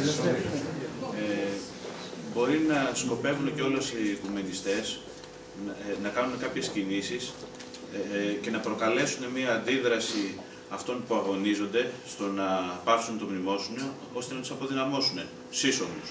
Αν, αν όλοι όσοι είναι αγωνιστές μέσα στην Εκκλησία πάψουν και αποτυχιστούν, ας πούμε, Αυτό το θέλω. εδώ, Αυτό το θέλω. ε, δεν θα έχουν πλέον καμία δύναμη. Και, και με αυτόν τον τρόπο ε, θα, θα μείνουν ας πούμε, όσοι συμφωνούν μες στην Εκκλησία και θα κάποιοι προχωρήσουν πολύ πιο γρήγορα στις κινήσεις τους. Σίγουρα. Σίγουρα. Εγώ πιστεύω ότι Δύο λεπτά να πει ο Πάτερ, γιατί εσύ σηκώσει από πριν. ένα σημαντικό πρόβλημα σήμερα και σε αυτό που είπατε προηγουμένως στους δύο τρόπους που πρέπει να αγωνιστούμε. Ο πρώτος που είναι η πνευματική πορεία του καθενός.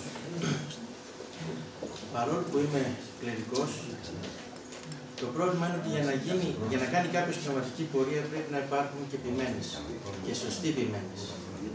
Αλλά δυστυχώς σήμερα δεν υπάρχουν ποιμένες που να ε, βοηθάνε τον κόσμο να κάνουν πνευματική, νηπτική, πνευματική ζωή. Με λίγες εξαιρέσεις. Πολύ Υπάρχουν λίγες κάποιες εξαιρέσεις. εξαιρέσεις. Πολύ λίγες εξαιρέσεις. Άρα είναι δύσκολο ο κόσμος σήμερα να μπορέσει να, κα- πρώτα να ανορθώσει το πνευματικό του επίπεδο για να μπορέσει να κάνει και το ομολογιακό του χρέος. Αυτό είναι Εκεί κυρίως- πρέπει να δούμε πώς θα αντιμετωπιστεί. Γιατί δυστυχώς είναι το μεγαλύτερο πρόβλημα. Γι' αυτό είπαμε και σε προσωπικό επίπεδο. Και πολλές φορές που τον κουράζω τον Γέροντα, του λέω Γέροντα τι θα κάνουμε και όλο αυτό, μου λέει παιδί μου δεν υπάρχουν πια άνθρωποι και εμείς δεν είμαστε, δεν έχουμε το βεληνικές του Αγίου Γρηγορίου του Παλαμά. Δεν έχουμε τη δύναμη και τη φώτιση και την αγιότητα των Αγίων Πατέρων. Προσπαθούμε να είμαστε επόμενοι για να μπορούμε να αντιδράσουμε. Κάνουμε τον ισχνό αγώνα αυτό που, που μπορούμε να κάνουμε, αυτή την ομολογία που μας αντιστοιχεί. Αλλά δεν μπορούμε ούτε λεονταρισμούς να διεκδικήσουμε, ούτε ερωισμούς. Κάνουμε αυτό που μας λέει η καρδιά μας και η πίστη μας. Μετά από εκεί και πέρα έπρεπε αυτοί που έπρεπε να βγουν μπροστά είναι αυτοί που βγαίνουν στα πανηγύρια, οι επίσκοποι. Και να υπάρχει μια πνευματική κατάσταση. Να προτρέπουν τον κόσμο πρώτα σε πνευματική ζωή, για να μπορεί να υπάρχει ομολογία. Και αφού δεν βγαίνουν, τι θα Γι' αυτό βγαίνουμε και εμείς, τι να κάνουμε. Στο μήν είναι Ισραήλ, Προχωρήστε. άνδρες στο σταματάτε. Ισραήλ, ε, ε, βασίλευσε με δαιμόνα, τι να κάνουμε. Και η λύθη και κράξουν. Εμείς είμαστε λύθοι, γι' αυτό όχι λύθοι, εντάξει ακόμα.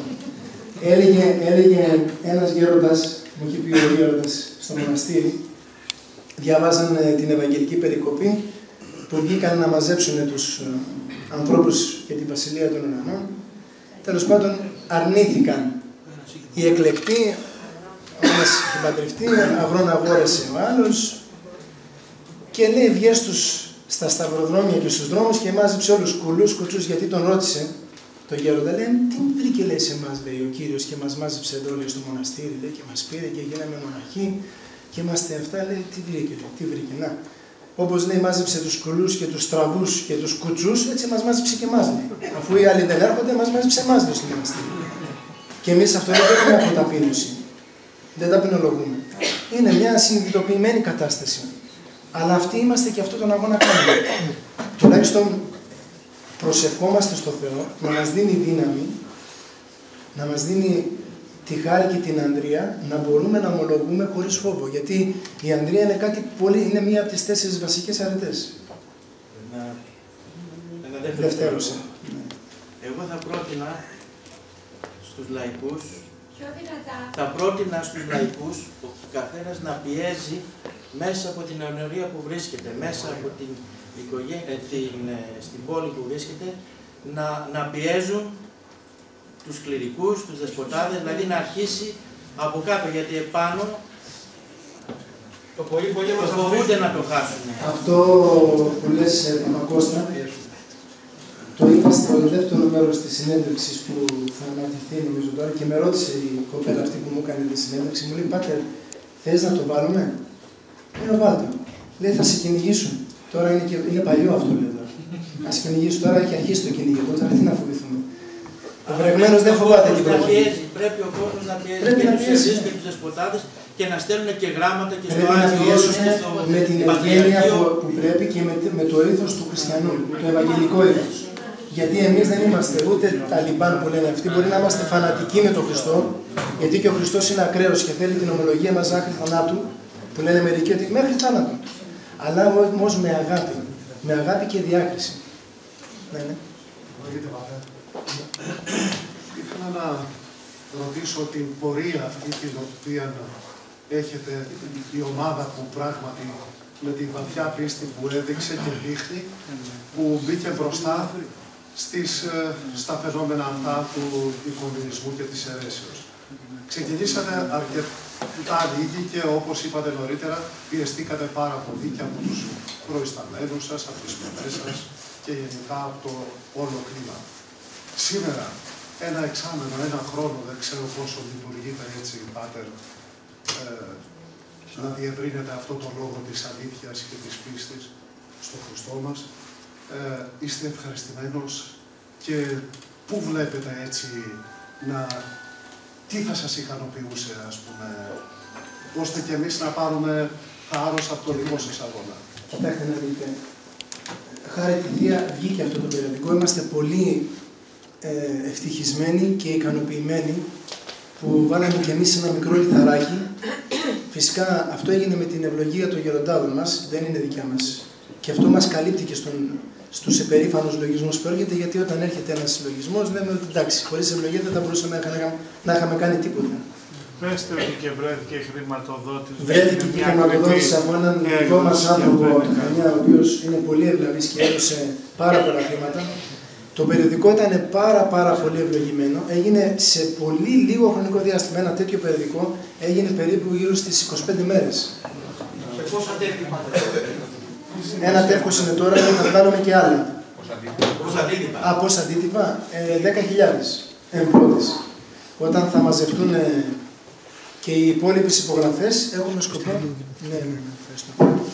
Έχουμε σκοπό να το δώσουμε σε 20.000 σε 20 και παραπάνω, αν μπορούμε.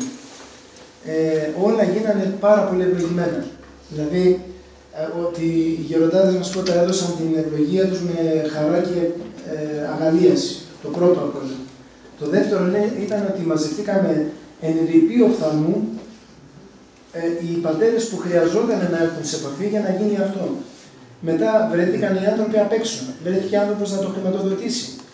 Ε, αυτά όλα μιλάμε τώρα σε μέρες, σε δύο-τρεις μέρες. Βρέθηκαν οι άνθρωποι να το στήσουν. Διότι εμείς, ναι, μεν βάλαμε πλάτη, να πάμε να τρίξουμε από εδώ, από εκεί να συντονίσουμε, χάσαμε τον ύπνο μας. Αλλά χρειαζόταν και οι άνθρωποι απ' έξω να το στήσουν, να το στοιχειοθετήσουν, το υλικό, να το καταγράψουν. Βοήθησε ο Ορθόδοξος τύπος γιατί όταν κάναμε αυτή την κουβέντα με αυτόν τον πατέρα, τότε που είχαμε, εκτός ότι ήταν κάτι που ξεκίνησε με τον Πάτερ Ευστράτιο, μετά όταν έγινε αυτή η κουβέντα, το πώς θα μαζέψουμε το, το υλικό, μου λέει ο πατέρας αυτός, μου λέει θα πας λέει, στα μοναστήρια λέει, και θα μαζέψεις λέει, όλο το υλικό. Του λέω αυτό θέλει ένα μισή χρόνο. Άσε που σε μερικά θα με πετάξουν έξω, μόλις δουν ποιος έρθει. Αυτό είναι αδύνατο. Και τότε μας ήρθε φώτιση να χρησιμοποιήσουμε το αρχαιακό υλικό του Ορθοδόξου τύπου. Το οποίο καταγράφηκε, ε, δακτυλογραφήθηκε, ε, έγινε ε, διαλογή. Δηλαδή ήταν κάτι το, το απίστευτο. Αν, ε, οι, οι άνθρωποι που δουλέψαν για αυτό το κείμενο δουλέψαν επί τρεις εβδομάδες 10 ώρες συνεχόμενες. Συνέχεια δουλεύανε για να προλάβουμε και την συνάντηση του Πάπα και του Πατριάρχου στο φανάρι. Δηλαδή το όλο θέμα το πώς έγινε, το μεταξύ εμείς, εγώ ήμουν με ένα τηλέφωνο στο χέρι να μιλάω με τον ένα, να μιλάω με τον άλλον, με, τον, ε, ε, με τους αδελφούς που κάνανε τη στοιχειοθέτηση, γινόταν κάτι το απίστευτο, πούμε, αλλά υπήρχε πολύ μεγάλη χάρη. Πολύ μεγάλη χάρη, αφού είχαμε και την ευλογία από τους πατέρες μας, ας πούμε. Και έγινε κάτι πολύ ευλογημένο. Και ο ένας γέροντας, ο οποίος έχει προσευχή και είναι σε καλή πνευματική κατάσταση, πρωτού δει αυτό το περιοδικό, ο Γιώργος Λάριον, είπε ότι αυτό είναι πάρα πάρα πολύ ευλογημένο και είναι ευλογημένο από την Παναγία. Πρωτού το δει, πρωτού του το δείξουμε.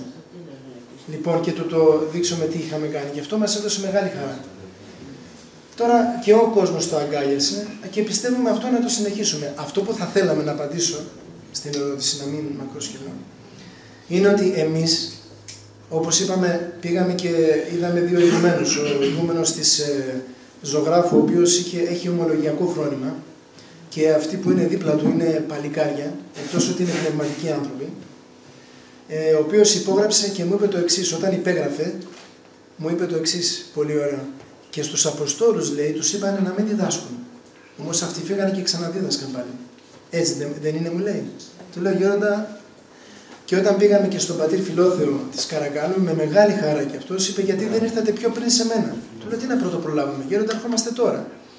Έτσι και άλλοι ηγούμενοι τώρα, αυτό που θέλουμε φυσικά εμείς είναι να αναλάβουν αυτή την ευθύνη και τον αγώνα, να μπουν μπροστά και εμείς σα τους συνδράμουμε.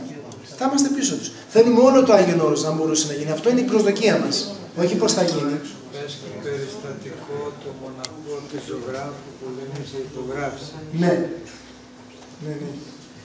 Με πήρε ο Πάτερ Δημήτριος τηλέφωνο, ο οποίος είναι πρώτος επίτροπος της ε, Εμμολής Ζωγράφου. Έχει πάρα πολύ χάρη ο άνθρωπος αυτός. Ε, μόνο που βρίσκεσαι κοντά του, η καρδιά σου χαίρεται, έχεις μεγάλη χαρά. Και με πήρε τηλέφωνο εχθές, ενθουσιασμένος, ήμουνα μέσα στην εκκλησία και μου λέει, Πάτερ, μου λέει, γράψε άλλες δύο υπογραφές, τρεις, έγινε, ε, υπογράψει κι άλλος ένας. Λοιπόν, και μου λέει να δεις τι έγινε με το μοναχό αυτό. Του λέω τι σημαίνει. Αυτός του είπα να υπογράψει και δεν υπόγραψε. Για τρεις μέρες είχε φοβερές τύψεις συνειδήσεως. Δεν μπορούσε να κοιμηθεί, έχασε το ανήμνο του. Είχε εφιάλτες, ε, αισθανόταν ότι είχε προδώσει τον Χριστό. Είχε τέτοια πληροφορία. Λοιπόν, και πήγε και βρήκε τον πάτερ ε, Δημήτριο νύχτα του λέει βάλει την υπογραφή μου τώρα. Του λέει είναι νύχτα. Βάλει τώρα λέει. Δεν θέλω να χάσω και άλλη νύχτα μου λέει. Είναι τέταρτη νύχτα λέει θα κοιμηθώ κιόλα. νύχτα πήγε και έβαλε την υπογραφή. Νύχτα. Γιατί είχε τύψεις, είχε, είχε πληροφορία μέσα του ότι ναι, και ένας άλλος αδελφός που δεν το είπα στον Γέροντα, γιατί Ε, είδε, θα μου πείτε αυτά δεν κάνει να τα, βλέ- να, να τα, δεν τα δεχόμαστε, ούτε όνειρα δεχόμαστε, ούτε έχουμε, συ- έχουμε μάθει να είμαστε πολύ προσεκτικοί σε αυτά και να μην δεχόμαστε, γιατί και αληθινό να είναι, είναι καλύτερο να τα απορρίπτουμε. Έτσι. Αλλά απλώς σας το λέω γιατί εμένα μου έδωσε μεγάλη χαρά προσωπικά. Ένας αδελφός είδε τον προφήτη Λία να κάνει απογραφή αυτούς που υπόγραφαν. Δεν ήθελα να το πω, λέω, δεν του έδινα σημασία, ούτε, αλλά με χαροποίησε πάρα πολύ. Και αυτός που μου το είπε, δεν του έδωσε σημασία, αλλά σας το λέω. Πες και του ηγουμένου και στον κύριο Παύλο που τον βγάλανε από ηγούμενο και πήγε στο... Το λέγατε εσείς γύροντα. Να το πω, να είναι ευλογημένο.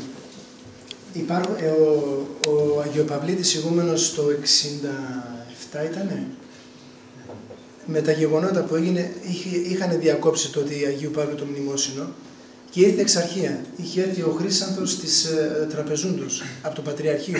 Νομίζω, αν, αν θυμάμαι καλά. Γιατί ε, και του ζήτησε το λόγο, του, ζή- του είπαν να μνημονεύσει πάλι και να σταματήσει αυτή την σκληροπυρηνική γραμμή που είχε. Ο ηγούμενος δεν δέχτηκε. Το όνομα του Γερόντα; Ανδρέας. Ανδρέας. Ε, ήταν ενάρετος άνθρωπος, άνθρωπος προσευχής και πνευματικός. Και του είπανε θα σε βγάλουμε. Και τους λέει δεν χρειάζεται, τους πέταξε τη μαγκούρα και έφυγε την Παστούνα. Λοιπόν, ο πατήρ ε, Ανδρέας πήγε στην αμπελικιά, το- στη- στο μονοξυλίτη που έχουν, που έχουν τις αμπελικές και εκεί από ό,τι μας πληροφόρησε ο Ροδοστόλου Επίσκοπος διότι το είχε εξομολογηθεί στο πνευματικό του στην Αγία Άννα και ο πνευματικός του Διονύσιο. στον πατέρα Διονύσιο τον Αγενανίτη και ο πατήρ Διονύσιος αφού είχε πε- κοιμηθεί ο, πατήρ, ο ηγούμενος, ο προηγούμενος, ο πατήρ Ανδρέας, το είχε εκμυστηρευτεί στον ε, Δωροδοστόλιο τον Επίσκοπο που φυσικάζει τώρα στο Όρος.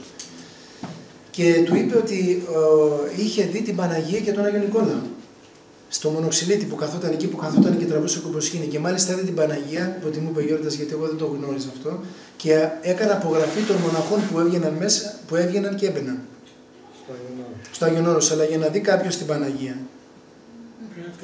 πρέπει να είναι σε ύψη αρετής. Η ομολογία του και η αγάπη, και το- η αγάπη του για τον Χριστό πρέπει να είναι παραδειγματική, όχι μόνο για μας, αλλά ειδικά για τους ηγουμένους. Γιατί και σε εμάς λένε, λέει, θα σας βάλουμε προπροσταμένους. Και τότε που δεν είμαστε και τι έγινε.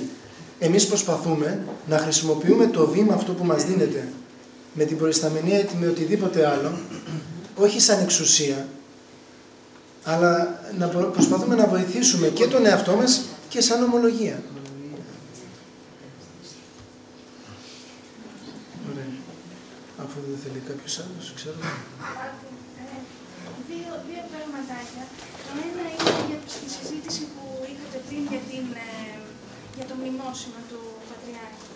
Ε, μου είπε κάποιος που πηγαίνει στη Μονή Κωνσταμονή του ότι είχε τον προβληματισμό αυτό ο ηγούμενος και ότι ο πνευματικός του, ο Εφραίμ της Αριζόνας του είπε να μην το κάνει. σε αυτό. Δεν ξέρω αν αληθεύει και αν το ξέρετε κι εσείς. Γιατί μετά θα ακολουθήσουν και άλλοι και δεν θα ήταν καλό σε αυτή την Μα αυτό θα ήταν το καλό, να ακολουθήσουν κι άλλοι. Και να χρειαστεί. Να το πω εγώ. Να το πει, να το πει και ο Γιώργας. Ελάτε, ελάτε στον Γιώργα, ελάτε. Μικρός Αλλά να- Παπαδικά. να- Δυστυχώς, δυστυχώς όλοι, όλα τα μοναστήρια που είναι αδελφά και είναι υποτακτική του πατρός Εφραίμ στην Αριζόνα, επειδή ο Πατριάρχης απείλησε τον πατέρα Εφραίμ ότι θα τον διώξει και θα γίνει ζημιά στο έργο του εκεί, πιέζει τους ηγουμένους στα μοναστήρια, Ξηροποτάμου, Φιλοθέου, Καρακάλου, Κωνσταμονίτου, να μην μιλάνε, να είναι πιο ήπιοι, γιατί θα την πληρώσει αυτός. Αυτό, αυτός είναι ο διωγμός και αυτή είναι η τρομοκρατία, δυστυχώς. Και δεν μπορούν οι άνθρωποι να μιλήσουν για να μην δίνει ζημιά στο, γέροντά τους. στο γέροντά τους. Τι είναι. Το δεύτερο, Πάτερ, ε, τώρα πρόσφατα δεν πρόλαβα μάλιστα να ρωτήσω τον πνευματικό δρόμο, ε, έτυχε να βρεθώ σε εκκλησία κοντινή. Σε πάση περιπτώσει, ε, ανήμερα τα Χριστούγεννα, συμπροσευχομένη στο ιερό οικουμενιστή μεγάλο, ας πούμε. Και είχα τη- τον προβληματισμό για τη Θεία Κοινωνία, έτσι. Είναι καλό να μην πηγαίνουμε εκεί που είναι οικουμενιστές. Δεν είναι θέμα ότι δεν τελείται το μυστήριο. Δεν είναι ότι δεν σεβόμαστε το μυστήριο. Αλλά επειδή σεβόμαστε το μυστήριο, φεύγουμε. Ή, ή για να τον δέχεται ο ιερέας, Πώς, πώς; ή για να τον δέχεται ο ιερέας τι πρεσβεύει κλπ. Κοιτάξτε να δείτε, δεν υπάρχει, δεν μπορούμε να είμαστε δήλωση. Ε, όταν βλέπουμε, ε, και αυτό είχαν πει και οι πατέρες, θα κάνουμε τη διαμαρτυρία μας. Τουλάχιστον η σένδειξη διαμαρτυρίας φεύγουμε. Δεν είναι ότι δεν σεβόμαστε το μυστήριο. Επειδή το σεβόμαστε, φεύγουμε από αυτούς. να, σε, σε όλα αυτά που έχουν υποθεί, ε, φαίνεται ότι η Εκκλησία ε, γενικότερα είναι προς ενός νέου σχίσματος, θα έλεγα. Προσπαθείτε βέβαια κι εσείς με τη χάρη του Θεού να μείνετε μέσα στον χώρο της Εκκλησίας και να υπάρχει ένωση. Αλλά μήπως τελικά εμ, τα πράγματα τελειωθούν προς ένα σχήμα. Αυτό κάποτε το έχω ακούσει από έναν άλλο πατέρα της Εκκλησίας, ότι θα γίνει κάποια στιγμή νέο σχίσμα μέσα στον χώρο της Εκκλησίας. Αυτό τελικά μήπως ε, το τελειωτικό που θα έρθει θα είναι όταν γίνεται ο οικουμενισμός, ε, συντελείται η ανομία του οικουμενισμού. Μήπως το τελειωτικό θα είναι όταν θα βγούνε, επειδή έχει ψηφιστεί και ο νόμος, και οι ηλεκτρονικές ταυτότητες, το χάραγμα του θηρίου και όλα αυτά και εκεί πια χωριστεί η ήρα από το στάρι. Αυτό πια θα βγάζει μάτι. Δεν θα, θα είναι κάτι το οποίο δεν θα υπάρχει επιστροφή σε αυτό. Έτσι, γιατί εγώ πολλές φορές το έχουμε συζητήσει και με τον Γέροντα και το συζητάμε κατά καιρούς, ότι ο οικουμενισμός, όπως είπαμε προηγουμένως, είναι μια πανέρεση, η οποία προετοιμάζει το δρόμο, στρώνει το χαλί του Αντιχριστού. Λοιπόν, και πολλές φορές, όπως είχαμε πει και με άλλους πατέρες, και από τη σύναξη που γίνεται στον Πόλο και με έγκριτους θεολόγους και με πνευματικούς πατέρες, κάποιες φορές χάνουμε το, το δάσος επειδή, επειδή βλέπουμε το δέντρο. Εμείς προσπαθούμε, το σχίσμα αυτό δεν το δημιουργούμε εμείς. Εμείς προσπαθούμε, προσκολόμαστε στην Αγία Καθολική και Αποστολική Εκκλησία, στις παραδόσεις, και το σχίσμα το κάνουν αυτοί που φεύγουν. Αυτοί σχίζονται από την Εκκλησία. Η Εκκλησία δεν αλλάζει. δεν, δεν μειώνεται. Δεν καταστρατηγείται. Καταλάβατε; Δεν σχίζεται η Εκκλησία. Αυτοί φεύγουν έξω από την Εκκλησία. Εμείς μένουμε μέσα στην Εκκλησία. Αυτοί που τα δημιουργούν αυτά. Λοιπόν, τότε επί Αντιχρίστου και επί Χα- αυτό είναι, αυτό είναι κάτι το οποίο θα είναι άρνηση, αυ- αυτόματη άρνηση, ας πούμε. Δεν, δεν Δηλαδή, τίθεται στο τέτοιο θέμα θέμα. της ηλεκτρονικής ταυτότητας, έχω ακούσει ιερείς, ε, πατέρες της Εκκλησίας που έχω κουβεντιάσει μαζί τους και έχουν πει: Ε, τι να κάνουμε, παιδάκι μου, ε, θα την πάρουμε την ταυτότητα, αλλά δεν θα μπορούμε να ζήσουμε αν δεν την πάρουμε. Δεν θα μπορούμε να πάρουμε το Οτιδήποτε- μισθό μας, δεν, δεν θα μπορούμε αυτό. Και λέω: Τι γίνεται, ας πούμε, τελικά Κοιτάξτε. μέχρι, η υποχώρησή μας μέχρι πού είναι; Οτιδήποτε έχει σχέση με το 666 πάνω στο έγγραφο της ταυτότητας δεν το παίρνουμε. Και οι αγιορείτες είχαν, έχουν κάνει, έχουμε, έχω αρχίσει και μαζεύω μάλιστα τα, τις αποφάσεις και της Ιεράς Κοινότητας που το λέει αυτό, ότι εμείς τέτοιο πράγμα στη ταυτότητα μας δεν δεχόμαστε. Ε, πολλοί λένε δεν είναι το χάραγμα. Φυσικά δεν είναι το χάραγμα. Το χάραγμα είναι στο μέτωπο και στο χέρι. Το λέει καθαρά, είναι ξεκάθαρο. δεν υπάρχει φυσικά μόνο το χάραγμα. Υπάρχει και η προσκύνηση του θηρίου. Και η αποδοχή του, τον- του αριθμού του ονόματος αυτού.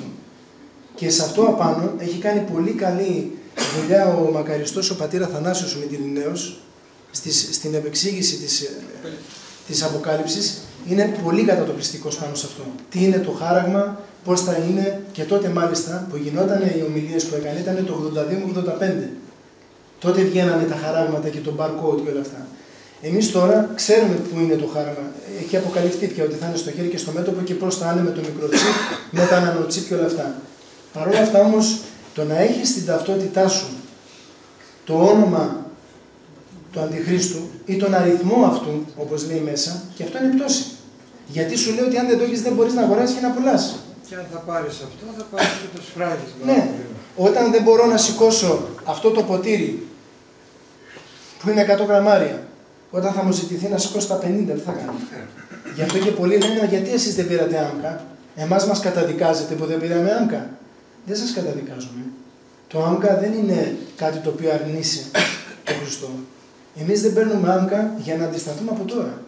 Σαν μοναχοί που είμαστε πρέπει να δίνουμε το παράδειγμα. Δεν είναι ότι το πήρες στο άμκα κολλάστηκες. Δεν, δεν, δεν φτάνουμε σε αυτό το σημείο. Έτσι. Αλλά αν δεν κάνουμε αντίσταση από τώρα και δεν δώσουμε εμείς το παράδειγμα, τότε πώς θα πάρει και ο. Λένε ότι η μονα... φως των μοναχών είναι οι άγγελοι και φως των λαϊκών είναι οι μοναχοί. Εάν το σκότος είναι σκότος, λέει πόσο. Ε, ε, αν δεν είμαστε εμεί σκότος, πώς θα βοηθήσουμε τους άλλους ανθρώπους; Γι' αυτό και δεν το παίρνουμε. Και γι' αυτό πρέπει οτιδήποτε έχει σχέση με αυτό, το 666 πάνω σε αυτά τα έγγραφα είναι άρνηση. Όπως έλεγε και ο Γιώργος Παΐσιος, είναι πτώση. Πρέπει να είμαστε ξεκάθαροι.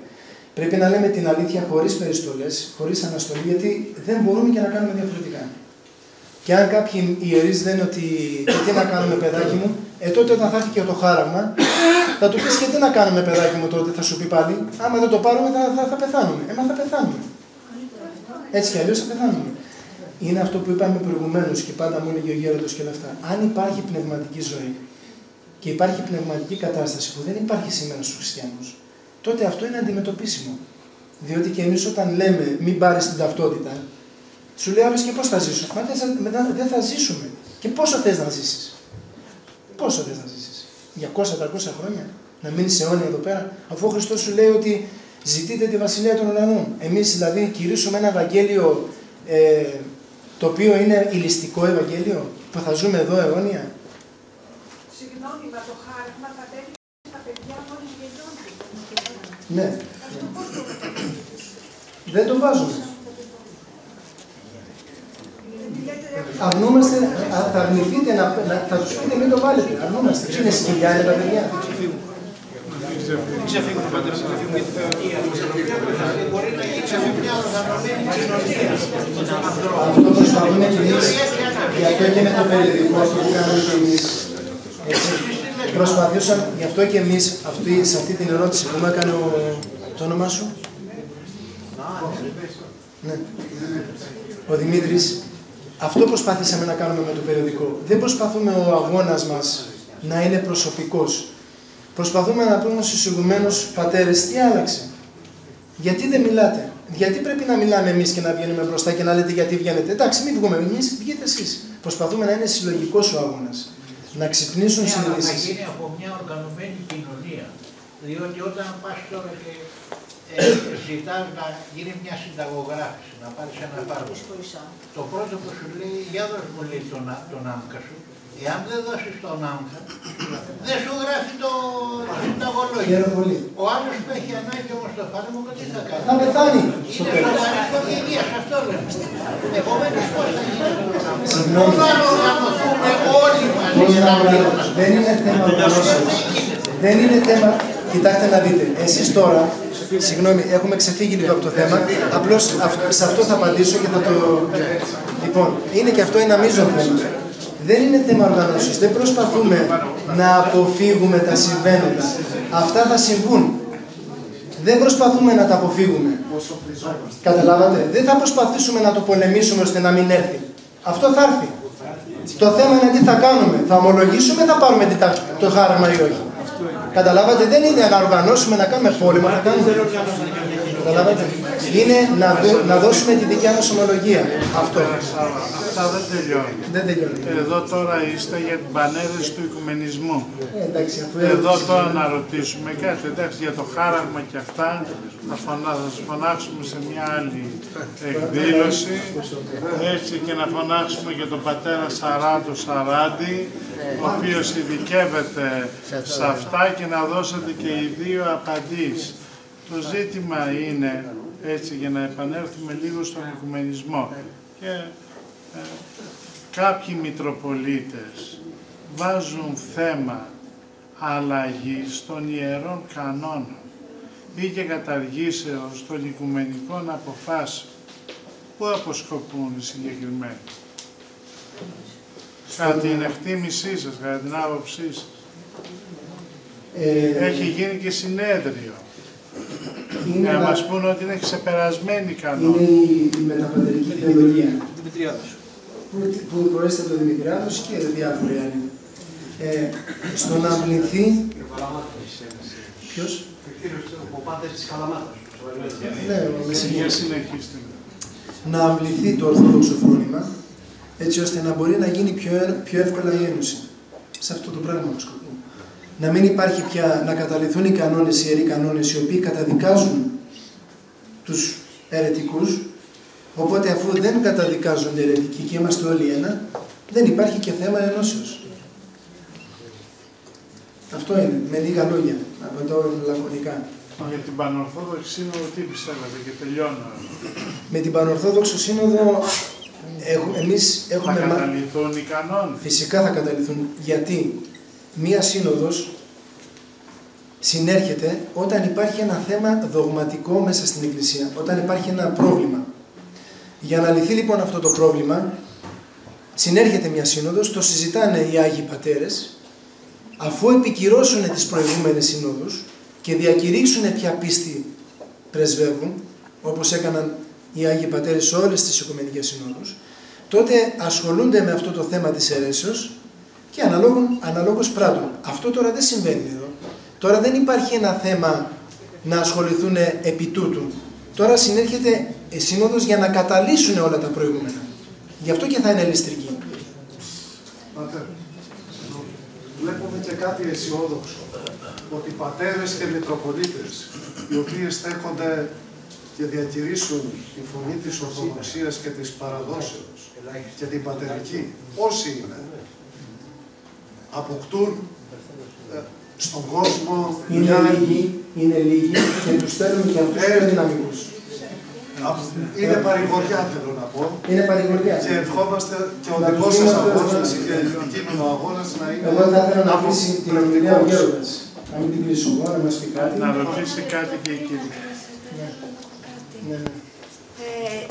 Ε, τέσσερις, ε, τέσσερις Τετάρτες, τελευταίες Τετάρτες που είχαμε σύναξη με τον πατέρα Μάρκο και τις τέσσερις φορές είπε να έχετε τις μπαταρίες σας φορτισμένες που σημαίνει να είσαστε κοντά στο Θεό α, ατέλειωτα. Και Μην έχεις άγχος, πες. Εγώ πρέπει να βγω. Και αν χρειαστεί, και αν χρειαστεί να υποστείτε ε, Μαρτύριο. μαρτύριο, να το δεχτείτε για να μην χάσετε την ψυχή σας. Αυτό τα λέει όλα. Και, και πριν κλείσετε για τον πατέρα Μάρκο κάτι. Όταν πήγαινε ο μακαριστός Χριστόδουλος στο Βατικανό, ενώ έλεγε διαφορετικά πράγματα, ο, ο- η γραμμή του Ορθοδόξου τύπου ήταν εναντίον του μακαριστού Χριστοδούλου γι' αυτό. Πάρα πολλοί τότε φώναζαν, θα διαγραφούμε, θα κάνουμε και πολλοί διαγράφησαν έτσι. Τότε λοιπόν κάποιοι από το Διοικητικό Συμβούλιο του λένε με επικεφαλής τον Μακαρίτη τον πρόεδρο, έτσι ένας θεοσεβούμενος άνθρωπος, ο, ο Κωστάς Σωτηρόπουλος, του λέει, μα του λέει θα διαγραφούν όλα και όλος ο κόσμος είναι, του λέει με τον Χριστόδουλο. Και για πρώτη φορά ενώ ήταν ήρεμος, ήπιος και αυτά, όπως καθόταν στο τραπέζι και τους είχε γύρω γύρω, χτυπάει το χέρι πάνω στο γραφείο και τους λέει «Ακούστε, για θέματα πίστεως δεν κάνουμε κανένα συμβιβασμό». Και διέλυσε αμέσως το διοικητικό συμβούλιο ολόκληρο. Εντάξει, να κλείσουμε, να μας πει κάτι ο Γέροντας και να κλείσουμε. Να το κλείσουμε έτσι.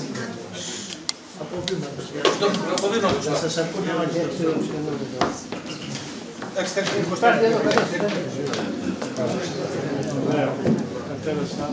Δεν μου λες και Γιώργο.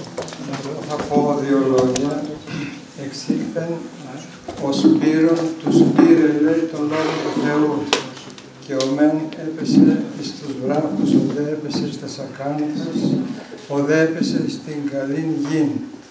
Λοιπόν, ελπίζω ο λόγος αυτός ο σημερινός να έπεσε στην καλή γη και να καρποφορήσει σε, στις ψυχές μας και να μεταδώσουμε το σπόρο αυτό και σε άλλους. Σας ευχαριστώ πάρα πολύ για την αγάπη σας και ελπίζω ότι ο Θεός θα είναι κοντά μας πάντοτε. Αμήν.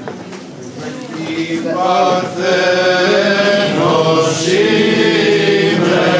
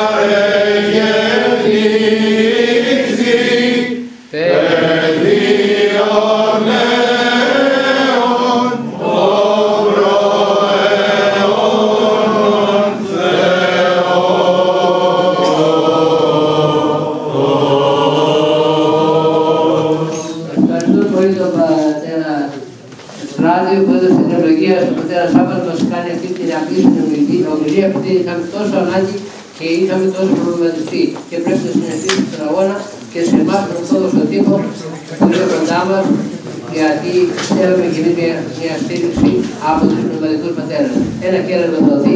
Ευχαριστούμε πάρα πολύ που